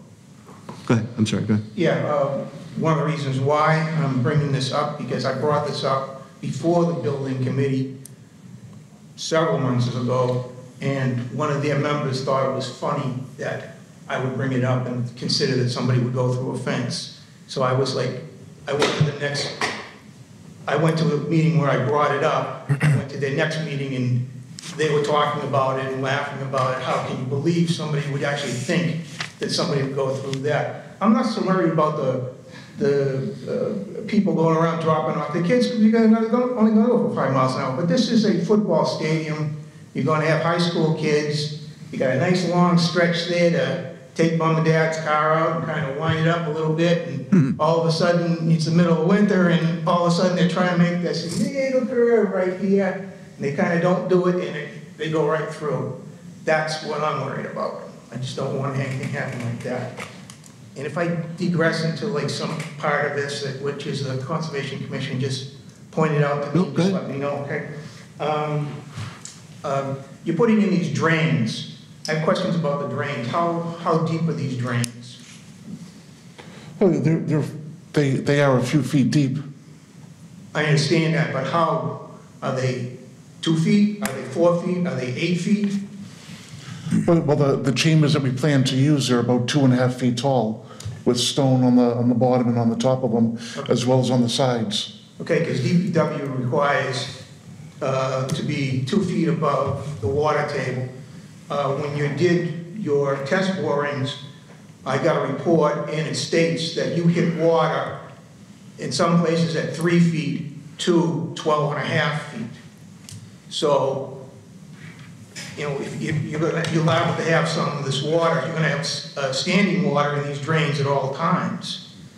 Um, they just did some more digging, um, recently, five new, uh, diggings for the, uh, for the drains themselves for the DPW. And, uh, I was at the last, uh, the board, the meeting that they had for the school committee there. And they were asked, did they strike water? And they said, yes, they struck water on those. I'm really concerned that there's a very high water table in this whole area. I've lived in this area, this area, I've lived in that particular house all my life. I grew up there, I bought the house when my, my, when my parents died, I bought it. So I know this area very well. I mean, in my yard, if you, if you dig down seven feet, you hit water, you hit the water table. So I'm concerned that you're gonna put these drains in, and they're gonna be filled up with groundwater first, and only half of them are gonna be working. So that's one of the main concerns I have about these tables. The- So, the- hold hold on, sir. So in regards to your, um, what you heard about for the uh, soil data, yes, on the, the last day that we did soil testing, we did do five test pits. We did do two test pits over in the satellite parking area, and because we were close to the wetlands, yes, in, in one of those, uh, you know, holes, we en- encountered water, I think, um, five feet down or so. In all the other holes that we dug, we found no water whatsoever. You know, we, we dug, um, you know, 12 feet down on areas to the north of the site, um, in, in back of your property, as well as to the east of the site. Um, over by the existing uh, football field and, uh, you know, so forth, and we encountered no water in any of those areas. All we encountered was sand um, all the way down, so. On these drains, are you gonna have um, oil and gasoline removal systems? Because you are, in you are gonna have parking lots, you are gonna have cars, you're gonna have leaking gas, you're gonna have leaking oil. You're gonna have that to remove that so it doesn't go out into the wetlands? We we are required um, through uh, DEP, the Stormwater Management Guidelines, to, um, you know, have a minimum of 80% TSS, which is total suspended solids, which are, you know, typical of what you uh, just indicated. We intend to have deep sump hooded catch basins. We intend to have water quality um, structures such as storm tap, uh, so- uh, Stormceptors, vortechnics, um, know, things of that nature, to improve the quality of water that discharges from the site there. So any trappings of, say, oils or greases from vehicles um, will be captured either in the catch basins, in the drain manholes, or in the water quality structures for the town to um, remove those um, items, typically by vacuuming out the, the structures themselves. Does this board have, um, uh, uh, right now, I'm I'm looking at some of the areas that are gonna be filled. Is that related to the Conservation Commission, or is that part of your, um, Well, ask your question, because you might be able to get an answer tonight, even if it's someone else's to regulate. okay. You might be able to, it- some of it's overlap. So ask your question, we might be able to get you an answer. Great, thank you. Um, Right now, this is the vernal pool here, and they're filling in this section right here, because right there, now this, let me move this over here. This right here is all, You can take that off there. Yeah, there you go. There you go. thanks very much. Uh, This whole section right here is gonna be filled in because, and they're gonna need a waiver to do that, because it's with the, within the 200 foot uh, of of this, this vernal pool. And they're also gonna need a waiver because they're gonna have to build a road over it. So I, I just want to state that that's going to be a waiver there, I believe. And then down here, this road over here, this lower part of it is in no-build zone too. So they might, re- and this part is being filled in here too, so they believe they're going to have to have put in a waiver for that. But I think that's going through the Conservation Commission. Exactly. Right, exactly. That's what I figured. Um, I have a question about the field house right here. Right now, um, there's a detention pond that's right here. And what they're doing is, uh, they're gonna fill that detention pond, and then they're gonna build part of the field house on top of it.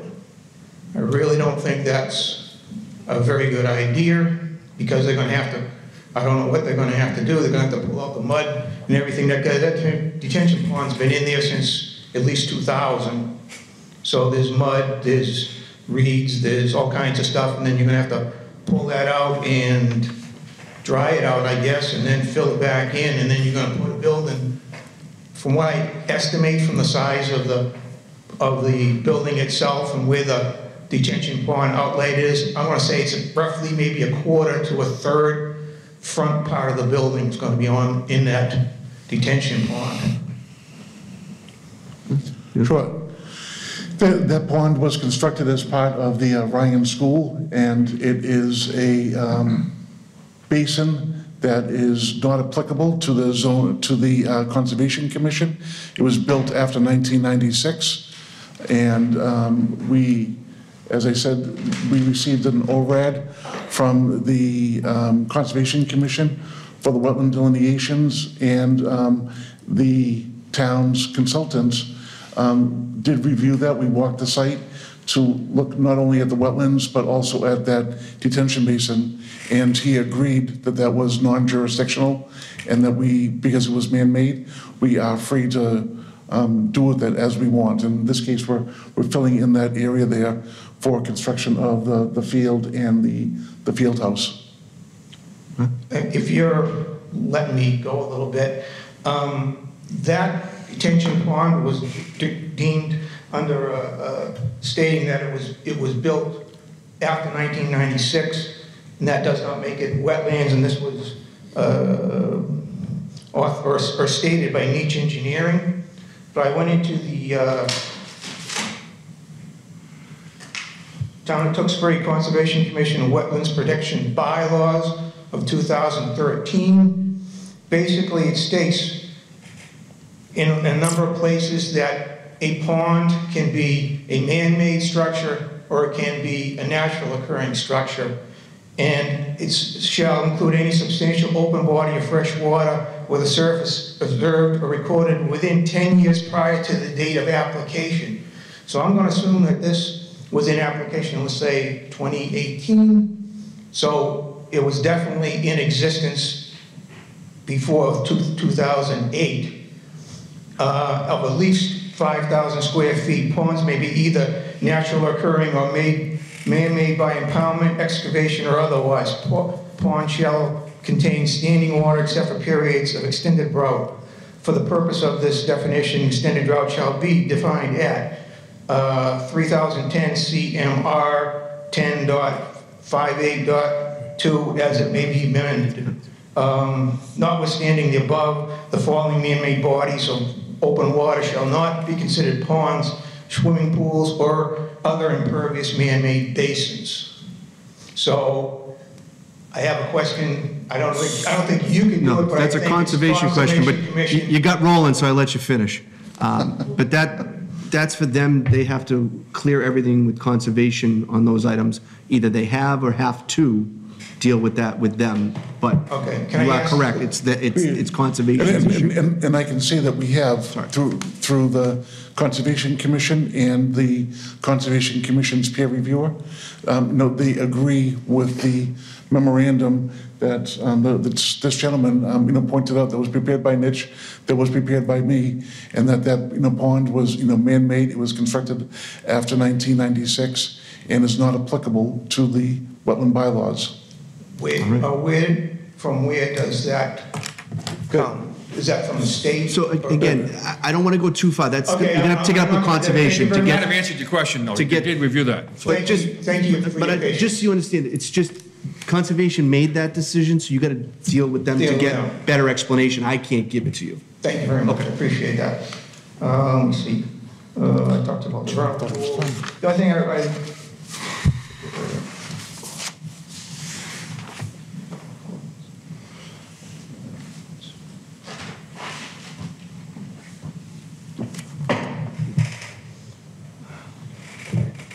So you don't have any jurisdiction over these um, build and no-build lines or anything like that? Where where do they, do you know where they come from? Well, it the depends on plans? what type of line you're talking about, but if you're Uh, talking there's about the ones lines with that- the, There's lines that state, uh, like 100-foot buffer zone, and there's lines that say 50-foot no-build zone. it- those are all conservations. Those are. Conservation Commission? Thank you very much, Ellie. Uh, Because the only thing I gotta say is that these lines are kind of, as it's progressing this project, they started out in one spot and they're drifting further over as we're going so that they no longer apply. So I I guess I'll have to bring that up before the Conservation Commission.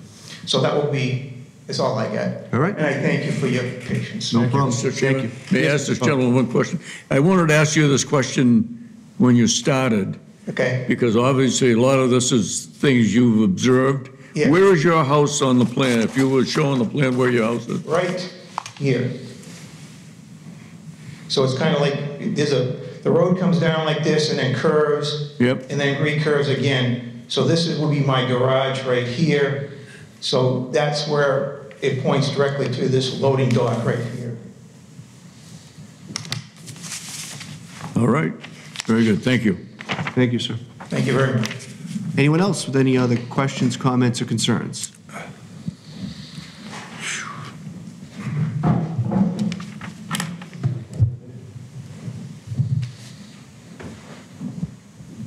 Mr. Chairman, Keith Robichaux, Pleasant Street. I'm in abutter of the property. Um, To fulfill your request from earlier, as far as people blocking or backing up the traffic back onto Pleasant Street, all it takes is two parents wanting to talk to each other for more than a minute, and you'll have a traffic jam backing itself out onto Pleasant Street again. You could also have somebody get into an accident or something of that nature. So do do do you have, did you have a suggestion as how to eliminate the possibility of anyone talking or having an accident? Well, you said there are going to be monitors out there. Okay. Now, I'm assuming those are the school teachers. Mm-hmm. I'm making that assumption, because rarely have I seen the police monitoring that traffic flow. They're not, excuse me, they're not going to be on Pleasant Street. You're the second person to say that. Not today. The, the monitors are in the parking lot of the school, the driveway of the school, not out on Pleasant Street. That would be my assumption too, because they don't want to walk all the way around this large, long loop now. All right. I'm sorry, you both are just talking about two different things. M- Mr. Fowler's talking about the monitors, not parents. You're talking about whether parents might be out there. I'm talking about what the parents have the potential of doing, trying to drop off their students. Or pick them up, as, as you pointed out. It just, because you were asking about it, is, so other questions that I have within this, is there fencing around the boundary of the property that's going to be built to try to mitigate trash and other things from migrating? Go ahead. Yes. Oh, sorry. I'll let you- you- Uh, Certainly on the uh, north. Can you show it on the plan? Oh, sure. I'm sorry, can we put the other one back up? Because I think the other one's larger. Yes, we do. More zoomed out, certainly, certainly can. Um, Along these two perimeters, the north and the east, there will be uh, fencing. It will be wood stockade fencing for most of the run to about here.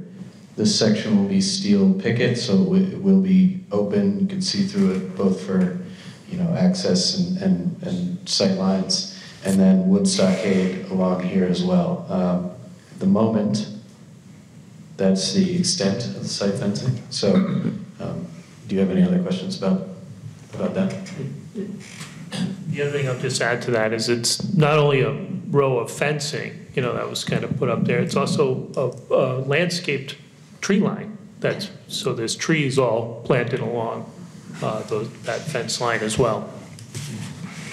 Trees or shrubbery? Trees, the trees.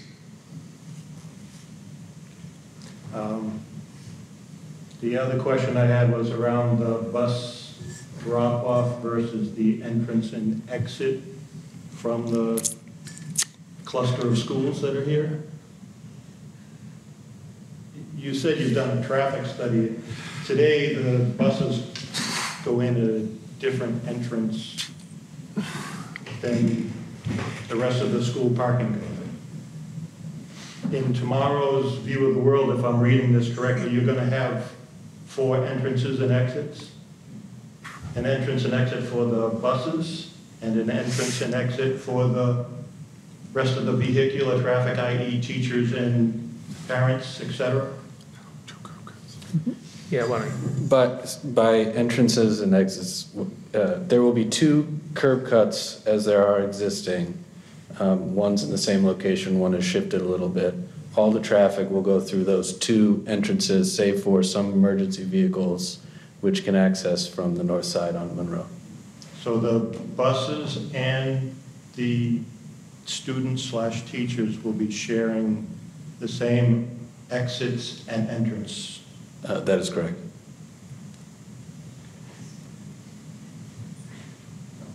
As they do at all schools. I beg your pardon? As they do at all schools.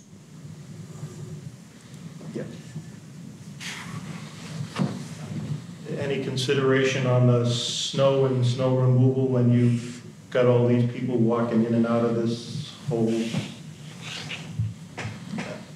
I ask that because we tend to use an awful lot of area to store our snow when we plow it off of roadways and parking lots. And the snowbanks get pretty big, and then we move front-end loaders in to try to push those snowbanks even farther back. And you pointed out that there's going to be curbing, uh, which I've seen the front end loaders take the curbing and just peel it up like it was a banana peel, and it ends up in some field somewhere or off to the side of a parking lot. So Just a quick response to that. We have met with DPW uh, probably twice now. Uh, And we will probably meet again, and we did talk about snow storage, and we did develop a snow plan. And, and some of their comments uh, have been incorporated into uh, this current plan. They wanted us, we actually removed some islands to make it easier for them to plow. And so we, we have talked to DPW about that. The poor plow operators at night trying to clean the places out, can't see the stuff, and they don't know the parking lot. Yeah. It's just, So I'd hope that there'd be some plan in place uh, as we go forward. uh, If there's additional snow, that there be some removal from the site as well? Yeah. and- That's usually an occurrence, right? Right, uh, we, we removed uh, uh, many islands throughout the site, and then, you know, of course, that area that, uh, by the, the practice field, you know, wouldn't be used during the winter, so that could all be used for snow storage. And that's part of our operation and maintenance, uh, you know, for the site that we will be submitting to the uh, Conservation Commission as far as, um, you know, snow storage, where they can store it. um, They have to stay so far away from wetland lines and things of that nature per DEP requirements, so. Sure. And, and then as they had said that, you know, if there were areas, you know, that they needed to remove snow off-site, they would do it.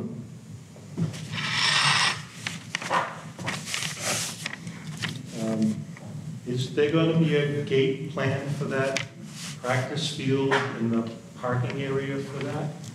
I'm sorry, can you step back up to the mic? Apologies. Is there going to be a gate, much like they have to the uh, baseball field at the high school?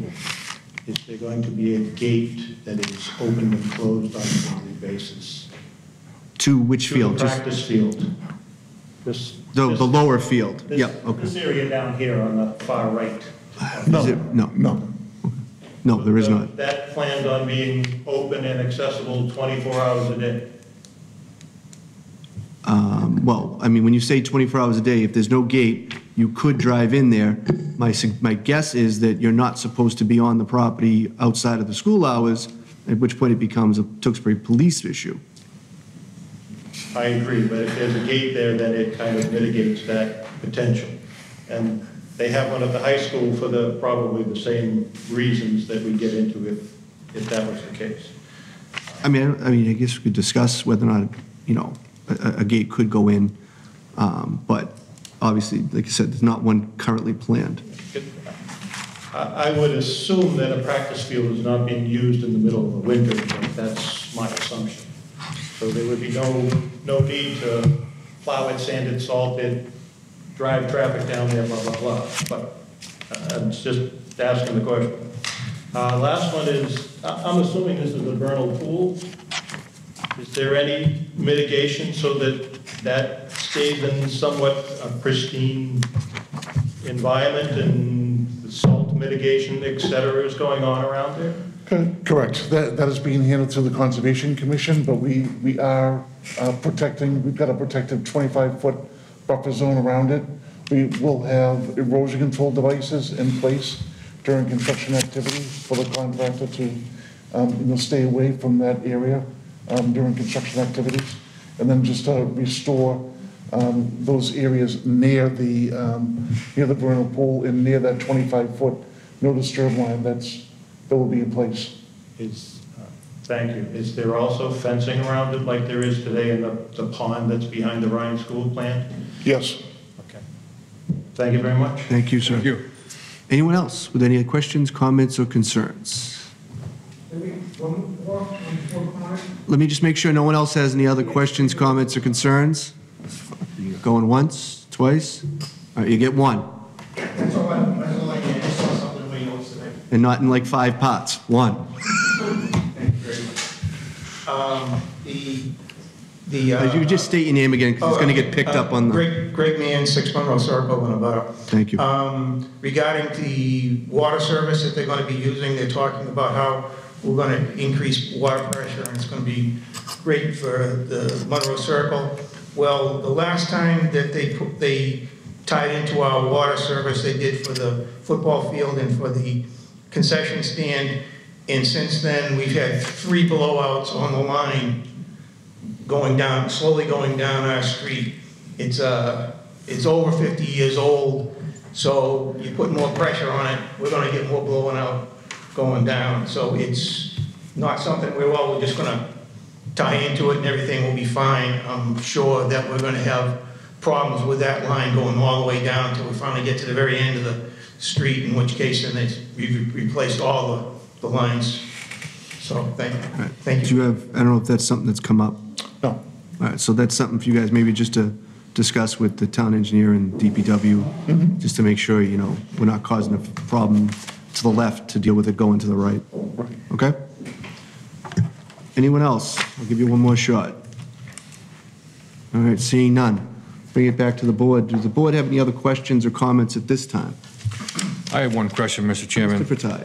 Uh, The stockade fence that you guys are putting up on the north end and on on the side there, it's not wooden, is it? It is. It is, yeah. How about maintenance of it going forward year to year and staining it or whatever, or are you gonna let it just weather? And why not a white plastic fence? That's gonna be more attractive than a stockade possibly, but just a consideration. You don't have to answer that now, but just, uh, you know, I- I've envisioned the fence not being maintained by the, by the town and it not being, uh, and it going, uh, you know, rotting after so, so many years for the residents. Okay. I think too, that that goes again to the comment I made earlier about the renderings. Just so, you know, it's easy to get a little bit of an idea of how things look when you bring, bring those in and we can throw them up. So, you know, maybe to, to Ms. Battaglia's point, whether you can give us a kind of a side-by-side, you know, maybe one looks better than the other. I mean, if it is a maintenance issue, then obviously that's something that the schools n- needs to be aware of and that they've prepared to take on the maintenance of. Um, Maybe they've already discussed that, I don't know, but something worth just checking into them. Uh, Anyone else? Mr. Fowler? I have one question, and no one's going to like it. Okay. Most of the conversation, a lot of the conversation this evening has been on traffic was, A, parking and speed, traffic around the, um, traversing around the uh, outer perimeter of the site. How are you going to control the speed there? Well, we, we do have uh, speed tables throughout the loop. Speed what? Speed tables? Tables, like We're- ra- we're- we're- These speed berms? Yeah. Yes. Okay. You didn't say that. Yes. We- You did? Yes, we mentioned it Yeah, earlier. There's three of them, that- right? that I there must have are- closed my ears. There, there there are a number of um, speed, speed raised uh, crosswalks. um, Okay. no slash- Oh, I know that on the crosswalk, yes. Just so we're on the same page, when you're talking about, uh, what are you calling it, by the way? A a raised crosswalk or a- a- a That, raised a speed, what? speed table, a raised speed table? I've heard of speed berm, but never that. Okay. I guess I'm learning something. When you say that, they're about, uh, you know, an elevation such as that, and it goes for about eight feet, and then it goes down on the other side. Co- Correct. so that you can have a crosswalk go across it. Those are fine. And, and it, it does more, it does the same thing as a speed bump. But the reason you don't want to have a speed, and I'll accentuate, bump, is because the school buses. Right. You just don't, someone's going to get hurt on a school bus. So with- with those, I'm in favor of it. So thank you. You're welcome. Anyone else? All set? All right, so obviously, you know, we have more to discuss and uh, more things to submit. And there were a few questions tonight that we'll ask you to have answers for or, uh, you know, or more explanation to um, from this evening. But other than that, um, what is the pleasure of the board? Uh, Let's see. Second motion to continue, Mr. Chairman. All right, so just, just Guess before we do question it, is time. are you, are you looking to come back at our next meeting? I mean, when, when are you, are you prepared to come back for the next meeting? Well, I think we'll be prepared to come back at the next meeting. I don't see why not. Okay, Yeah. so then, Next meeting is the second? the next meeting is the second, correct? You'll have three members. Yes. So, I mean, the next, I think, I'm not, I can't be absolutely sure, but I believe both the 2nd and the 16th are likely to have three members present. So while we can take information and you could present, no decision can be made by the board with less than four members present. So, you know, I I encourage you to come in with the information. Sure. um, Because it just, you know, it fills the file, and that's, that's fine, we can still have the hearings. But as far as making a decision, um, my, I anticipate that the soonest you're going to be able to get a decision from the board would be after the turn of the year. All right? Um, I mean, unless scheduling changes, in which case we'll have someone reach out to you, let you know. Uh, But we'd probably be able to let you know that on the second anyways. We'd probably have a better idea by then. But more than likely, we're looking at three members for the two December meetings. All right? And, and the same three members? Um, I don't know that it's the same, but it- as long as a member doesn't miss, uh, you know, too many of the meetings and has checked the record of the things discussed, they can sit and, you know, meet in that meeting. But either way, since you can't get a vote, it wouldn't make that much of a difference which members were in attendance for either of those meetings. Information-wise, each of us would have to get caught up if we missed anyways. Right. Oh, no, no, that, I I know in some instances, if you miss a meeting, as I'm on a planning board, you know, uh, planning board member as well, um, if you miss a meeting, then you can't vote. Correct. At at subsequent meetings, so that's my, that was my question for. Three? Yeah, It's, it's, it's a certain number of meetings, it's not a meeting. Uh, Okay, so, with that then, um, we have a motion to continue this to 7 PM on December 2nd. Have a motion? Motion to continue to December 2nd. All right, a motion made, do I have a second? Second. All right, motion made and seconded, all those in favor signify by saying aye. Aye. All those opposed, motion carries. All right, thank you, gentlemen. Thank you. Thank you.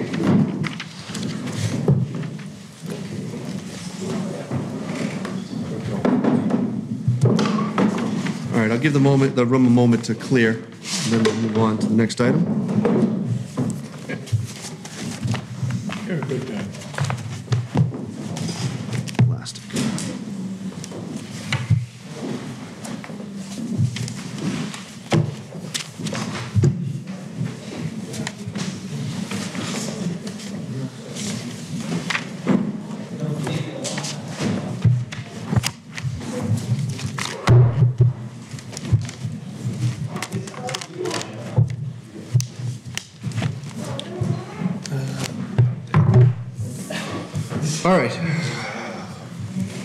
Moving on to Agenda Item D, 137 North Street, 150, uh, 1547 Andover Street et al.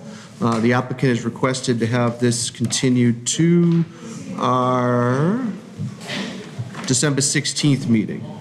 So do we have a motion to continue this to 7:05 on December 16th? Mr. Chairman, I'd like to make a a statement here or an opinion that, that we remove this completely from our agenda. It's taking up our agenda from week to week to week, or meeting to meeting to meeting, until they are ready and approach us as far as putting it back on the agenda. I mean, they've been here and the continuing for, We can't do that. It has to be, It has to be continued to a, s- yeah, to a date. okay. Just seems like just taking up our agenda and we just uh, keep continuing. Isn't there a time period in this, too? Well, I mean, it's not that there's a time period, but at some point, the board could decide to simply not grant the request to continue it. Um, I wouldn't be, I wouldn't recommend we do that tonight, obviously with no warning to the petitioner, but if we're at a point where we, where we're gonna threaten to um, deny the permit for lack of moving forward or any new information, then we would give them some heads up that that's gonna happen and let them have a chance to come in and tell us. Okay, well, if we put what's it on to the next meeting, we can't vote on it anyway because there's only three members going to be present. they requested to the 16th anyways. 16? Okay, well, And uh, that's it. their No, the issue reason is- why they keep delaying it? Yeah, the issue is they're still working with the fire department. When they made their modifications to the, the landscape area in the middle, it screwed up their turning radiuses. So they're still trying to work with the fire department to get that straightened out. Okay, okay, that's fine. Okay, so, I, I Motion wonder to though. continue to- So just one, one more comment on that though, they, uh, we were the ones who asked them to make that island bigger. And that sort of obviously caused a problem. At some point though, maybe we need to have them come back in and discuss with us where we feel you know, maybe we'd be willing to go back on that in order to accommodate the fire trucks. I don't know, but I mean, if they're just gonna keep banging heads about it, at some point, we should probably discuss it. So, all right, so motion made to continue this to the 16th at 7:05? Yes, sir. Just for your um, edification, uh, as I told the office, there is a chance I could be here. Let me ask you this, I'll back up. Would you have a meeting with three for this? Anyways? You mean the school? Yeah, no. For this matter? Yes, the school. For the school? Yes. Uh, I, I we'd accept information if they had anything to present. No, no, no, no. We're talking about North Street. Oh, okay, I- that's why I just wasn't sure. So um, if they came in with something, we'd hear it, but obviously, we wouldn't be able to make any decision on it.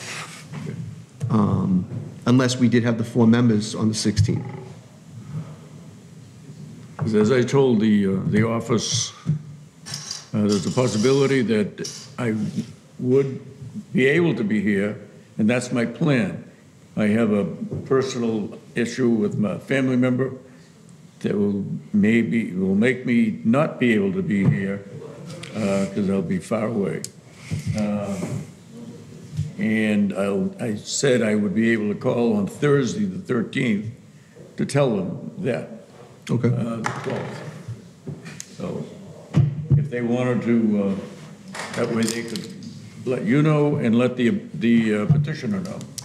Okay, so we'll ask that the, uh, the uh, town planner just give them that information of the sort of influxness of that 16th meeting, and we'll, we'll discuss this again on the 2nd when we come back as to giving uh, um, a heads up to whoever's coming in then, where we look like we might stand on the 16th.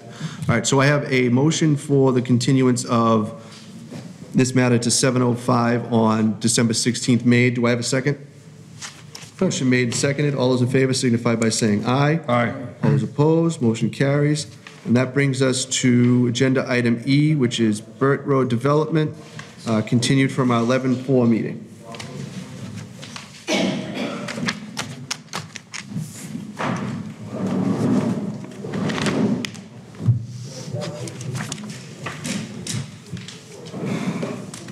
What are you doing tonight? You go out lunch tomorrow? Come on. You around tomorrow? All right, gentlemen, if you state your names for the record, the floor is yours. Uh, Good evening, Peter Ellison with TEC. I'm the civil engineer with the, pro- uh, for the project. Scott Kelly, RJ Kelly with the property owner. Uh, I guess I'll give a brief summary um, of what's progressed since our last meeting. We were last in front of you uh, November 4th, two weeks ago. Um, I believe, coming out of that meeting, um, Scott and I had a pretty good sense for where the board board stood on the project. Um, There were some loose ends to tie up with uh, Kevin Hardiman's um, review letter, as well as the stormwater peer review that we received um, from the town of Andover's planning board. Um, Since that meeting, we have submitted uh, a response package to the Town of Andover Planning Board in regards to that stormwater um, review. And we've also submitted a letter to um, Anna McGinty on, uh, to address the comments from Kevin Hardiman. Um, That being said, um, I guess I'll, I'll run through the changes to the plan as they relate to the town of Tewksbury, and then I will um, send it back for any comments from you, Mr. Chairman.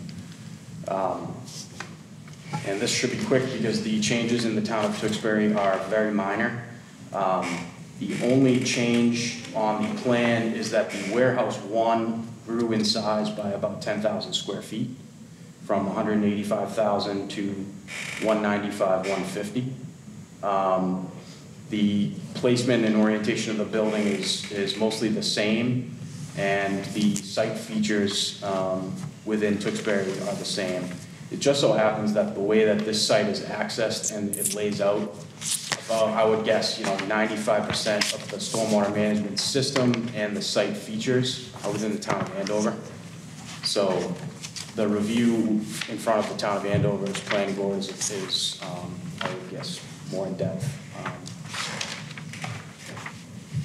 I think that summarizes the changes really. Um, We're showing you this information tonight, um, just to show you that we're moving in the right direction. We don't disagree with any of the comments in front of us. We're trying to address them as best we can. Um, So with that, I'll leave it to you, Mr. Chairman. All right. Um, Start with Mr. Fowler. Well, I wish we had had all this information, uh, not from you, but from Mr. Hardeman. um, Because I didn't see it till this evening. It was just submitted to the office today. Yeah, that's Yeah. correct. Yeah, so uh, Mr. Hartman didn't have a chance to respond. Right. So, not a whole heck of a lot I can uh, do, whereas the the questions might be answered by him or by you when we uh, give his response to you. Have you read his letter? Yes, of course, yeah. The, um, all four of his comments are directly replied to in this response letter. Okay. So I've read and responded to every one of his comments, yes. All right. Um, And uh, I guess to um, answer, I guess, respond to your comment, uh, this is entirely, not, nothing to do with Kevin Hardeman. It was submitted today, so he would never have possibly been able to get back to you in time. All right. Are you satisfied? That he'll be satisfied? Yeah, I'm fairly confident that um, his comments are set, are That's very good, thank you. Um, Mr. Fratalia.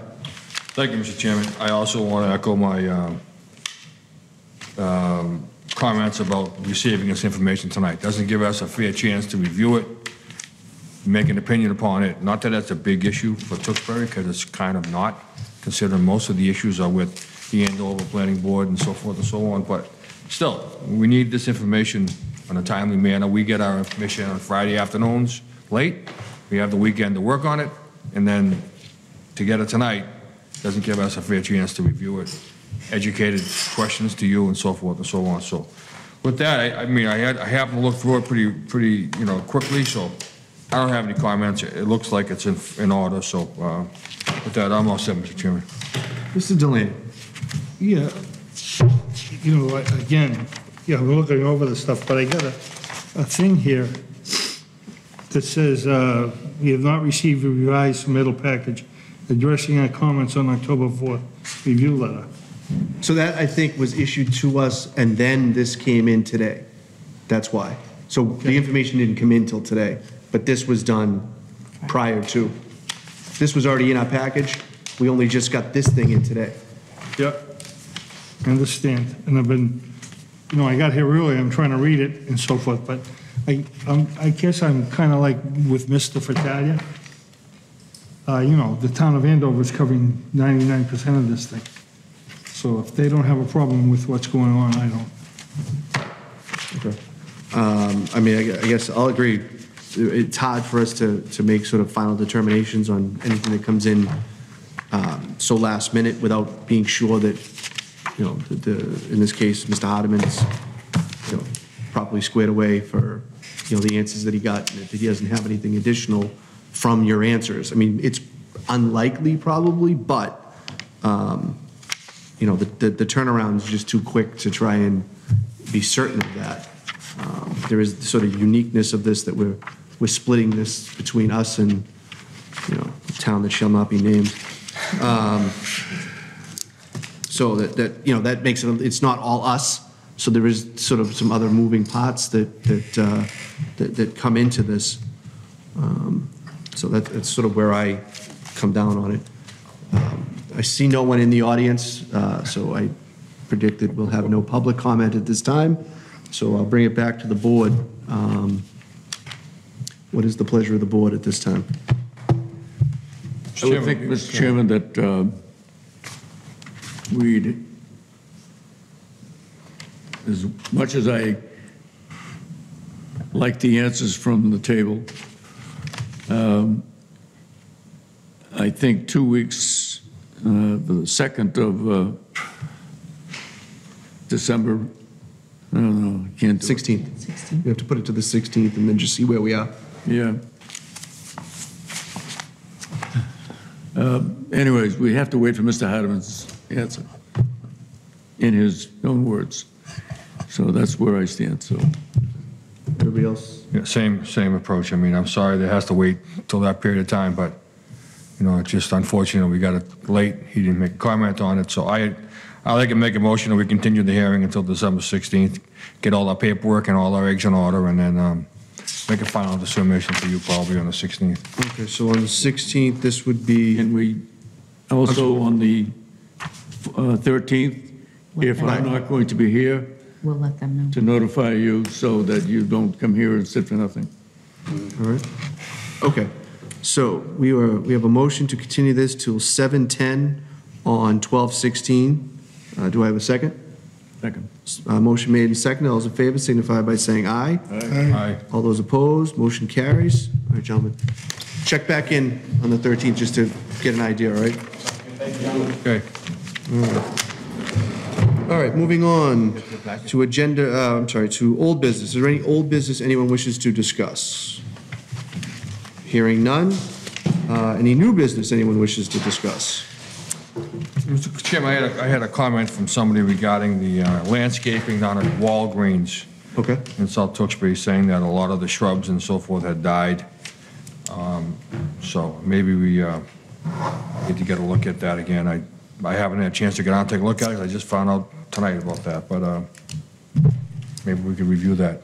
They, were- they were in front of us before. Okay. Regarding a lighting issue and some landscaping, I believe, but okay, I think some. And we, we, we- it's definitely the pot that's Walmart? Is that? I believe so. Oh, Walgreens, I'm sorry. Walgreens, I'm sorry. Walgreens, yeah. Did I say Walmart? No. Okay.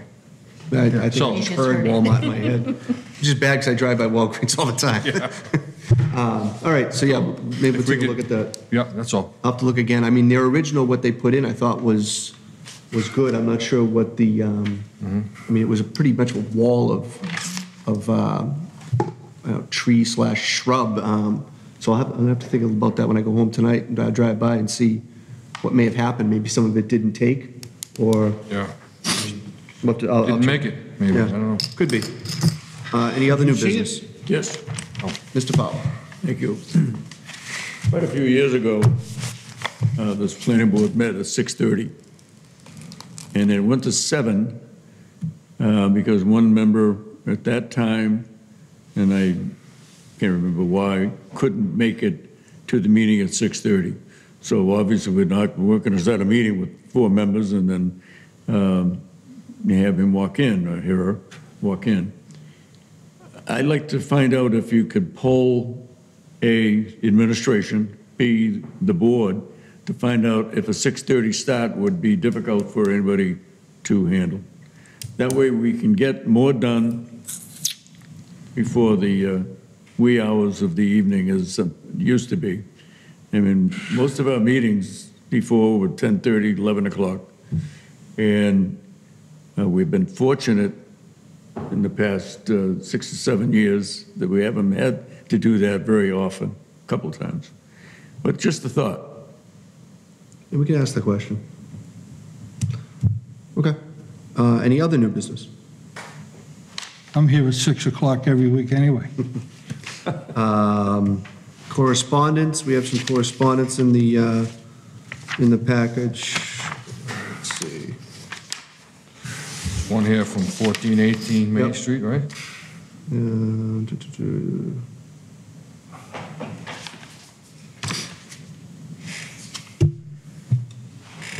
All right, so this is, I mean, at this point, this is still informational in terms of, they've reached out, we'll see where that goes.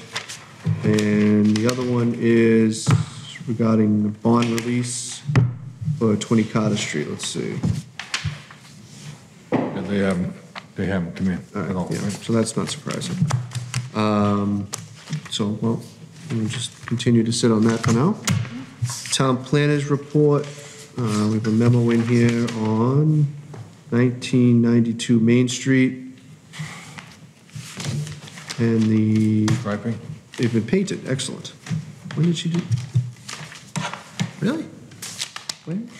It's got to be the gas station that I asked about. Um, The one on the corner of Shawsheen and uh, Main. Uh, We had the one-ways lit, um, den- denoted on there for people not to come out and try to cross over 38 to take the left to head towards like South Tewksbury. When they come out of that driveway, Um, that is not what's happening. People are doing it constantly. And it may or may not have something to do with the fact that you can't see the arrow on the ground anymore. You know what I'm talking about? Yeah, the same, but, but it's interesting you say that because the same thing is happening because, and, and it was, it was reported to uh, previous administration about the gas station at the corner of Pike in Main Street. They're doing the same thing. And there's supposed to be a sign there, no left turn. And there's, never has been one place. That would stop a lot of people cutting across all four, uh, So, four lanes. yeah. Mr. Fowler, so coming out of the station, you cannot go left towards, towards Walmart? The the driveway closest to Pike Street is supposed to be one way, in, and out. The other one's coming out? The one on the other side, sure. I agree. I'd have to look again, because I thought I looked the other day and I didn't realize that the paintings had been done on that property, but uh, hopefully they are, and then we'll hopefully alleviate some of that, because that is dangerous and not useful, so.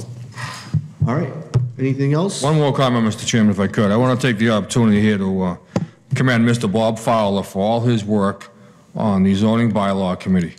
We've attended a couple of those meetings, Mr. Chairman, you and I, and Mr. Delaney, and, uh, and the work those guys are doing are just, just phenomenal. Uh, I said it at the meeting that, I don't know, I wouldn't have the time to put into that, but those, these guys have done a great job getting, getting us to where we are now with the new, the new uh, uh, bylaws that are coming out, hopefully in the next, next couple of months, but uh, I just wanted to take the opportunity to commend you, Mr. Fowler, for all your efforts. Well, I thank you, but it's, it's a committee, it's a committee job. I know a that, Person job, but thank you. A lot of time and effort, I that's- just hope the uh, enthusiasm carries over to town meeting. Agreed.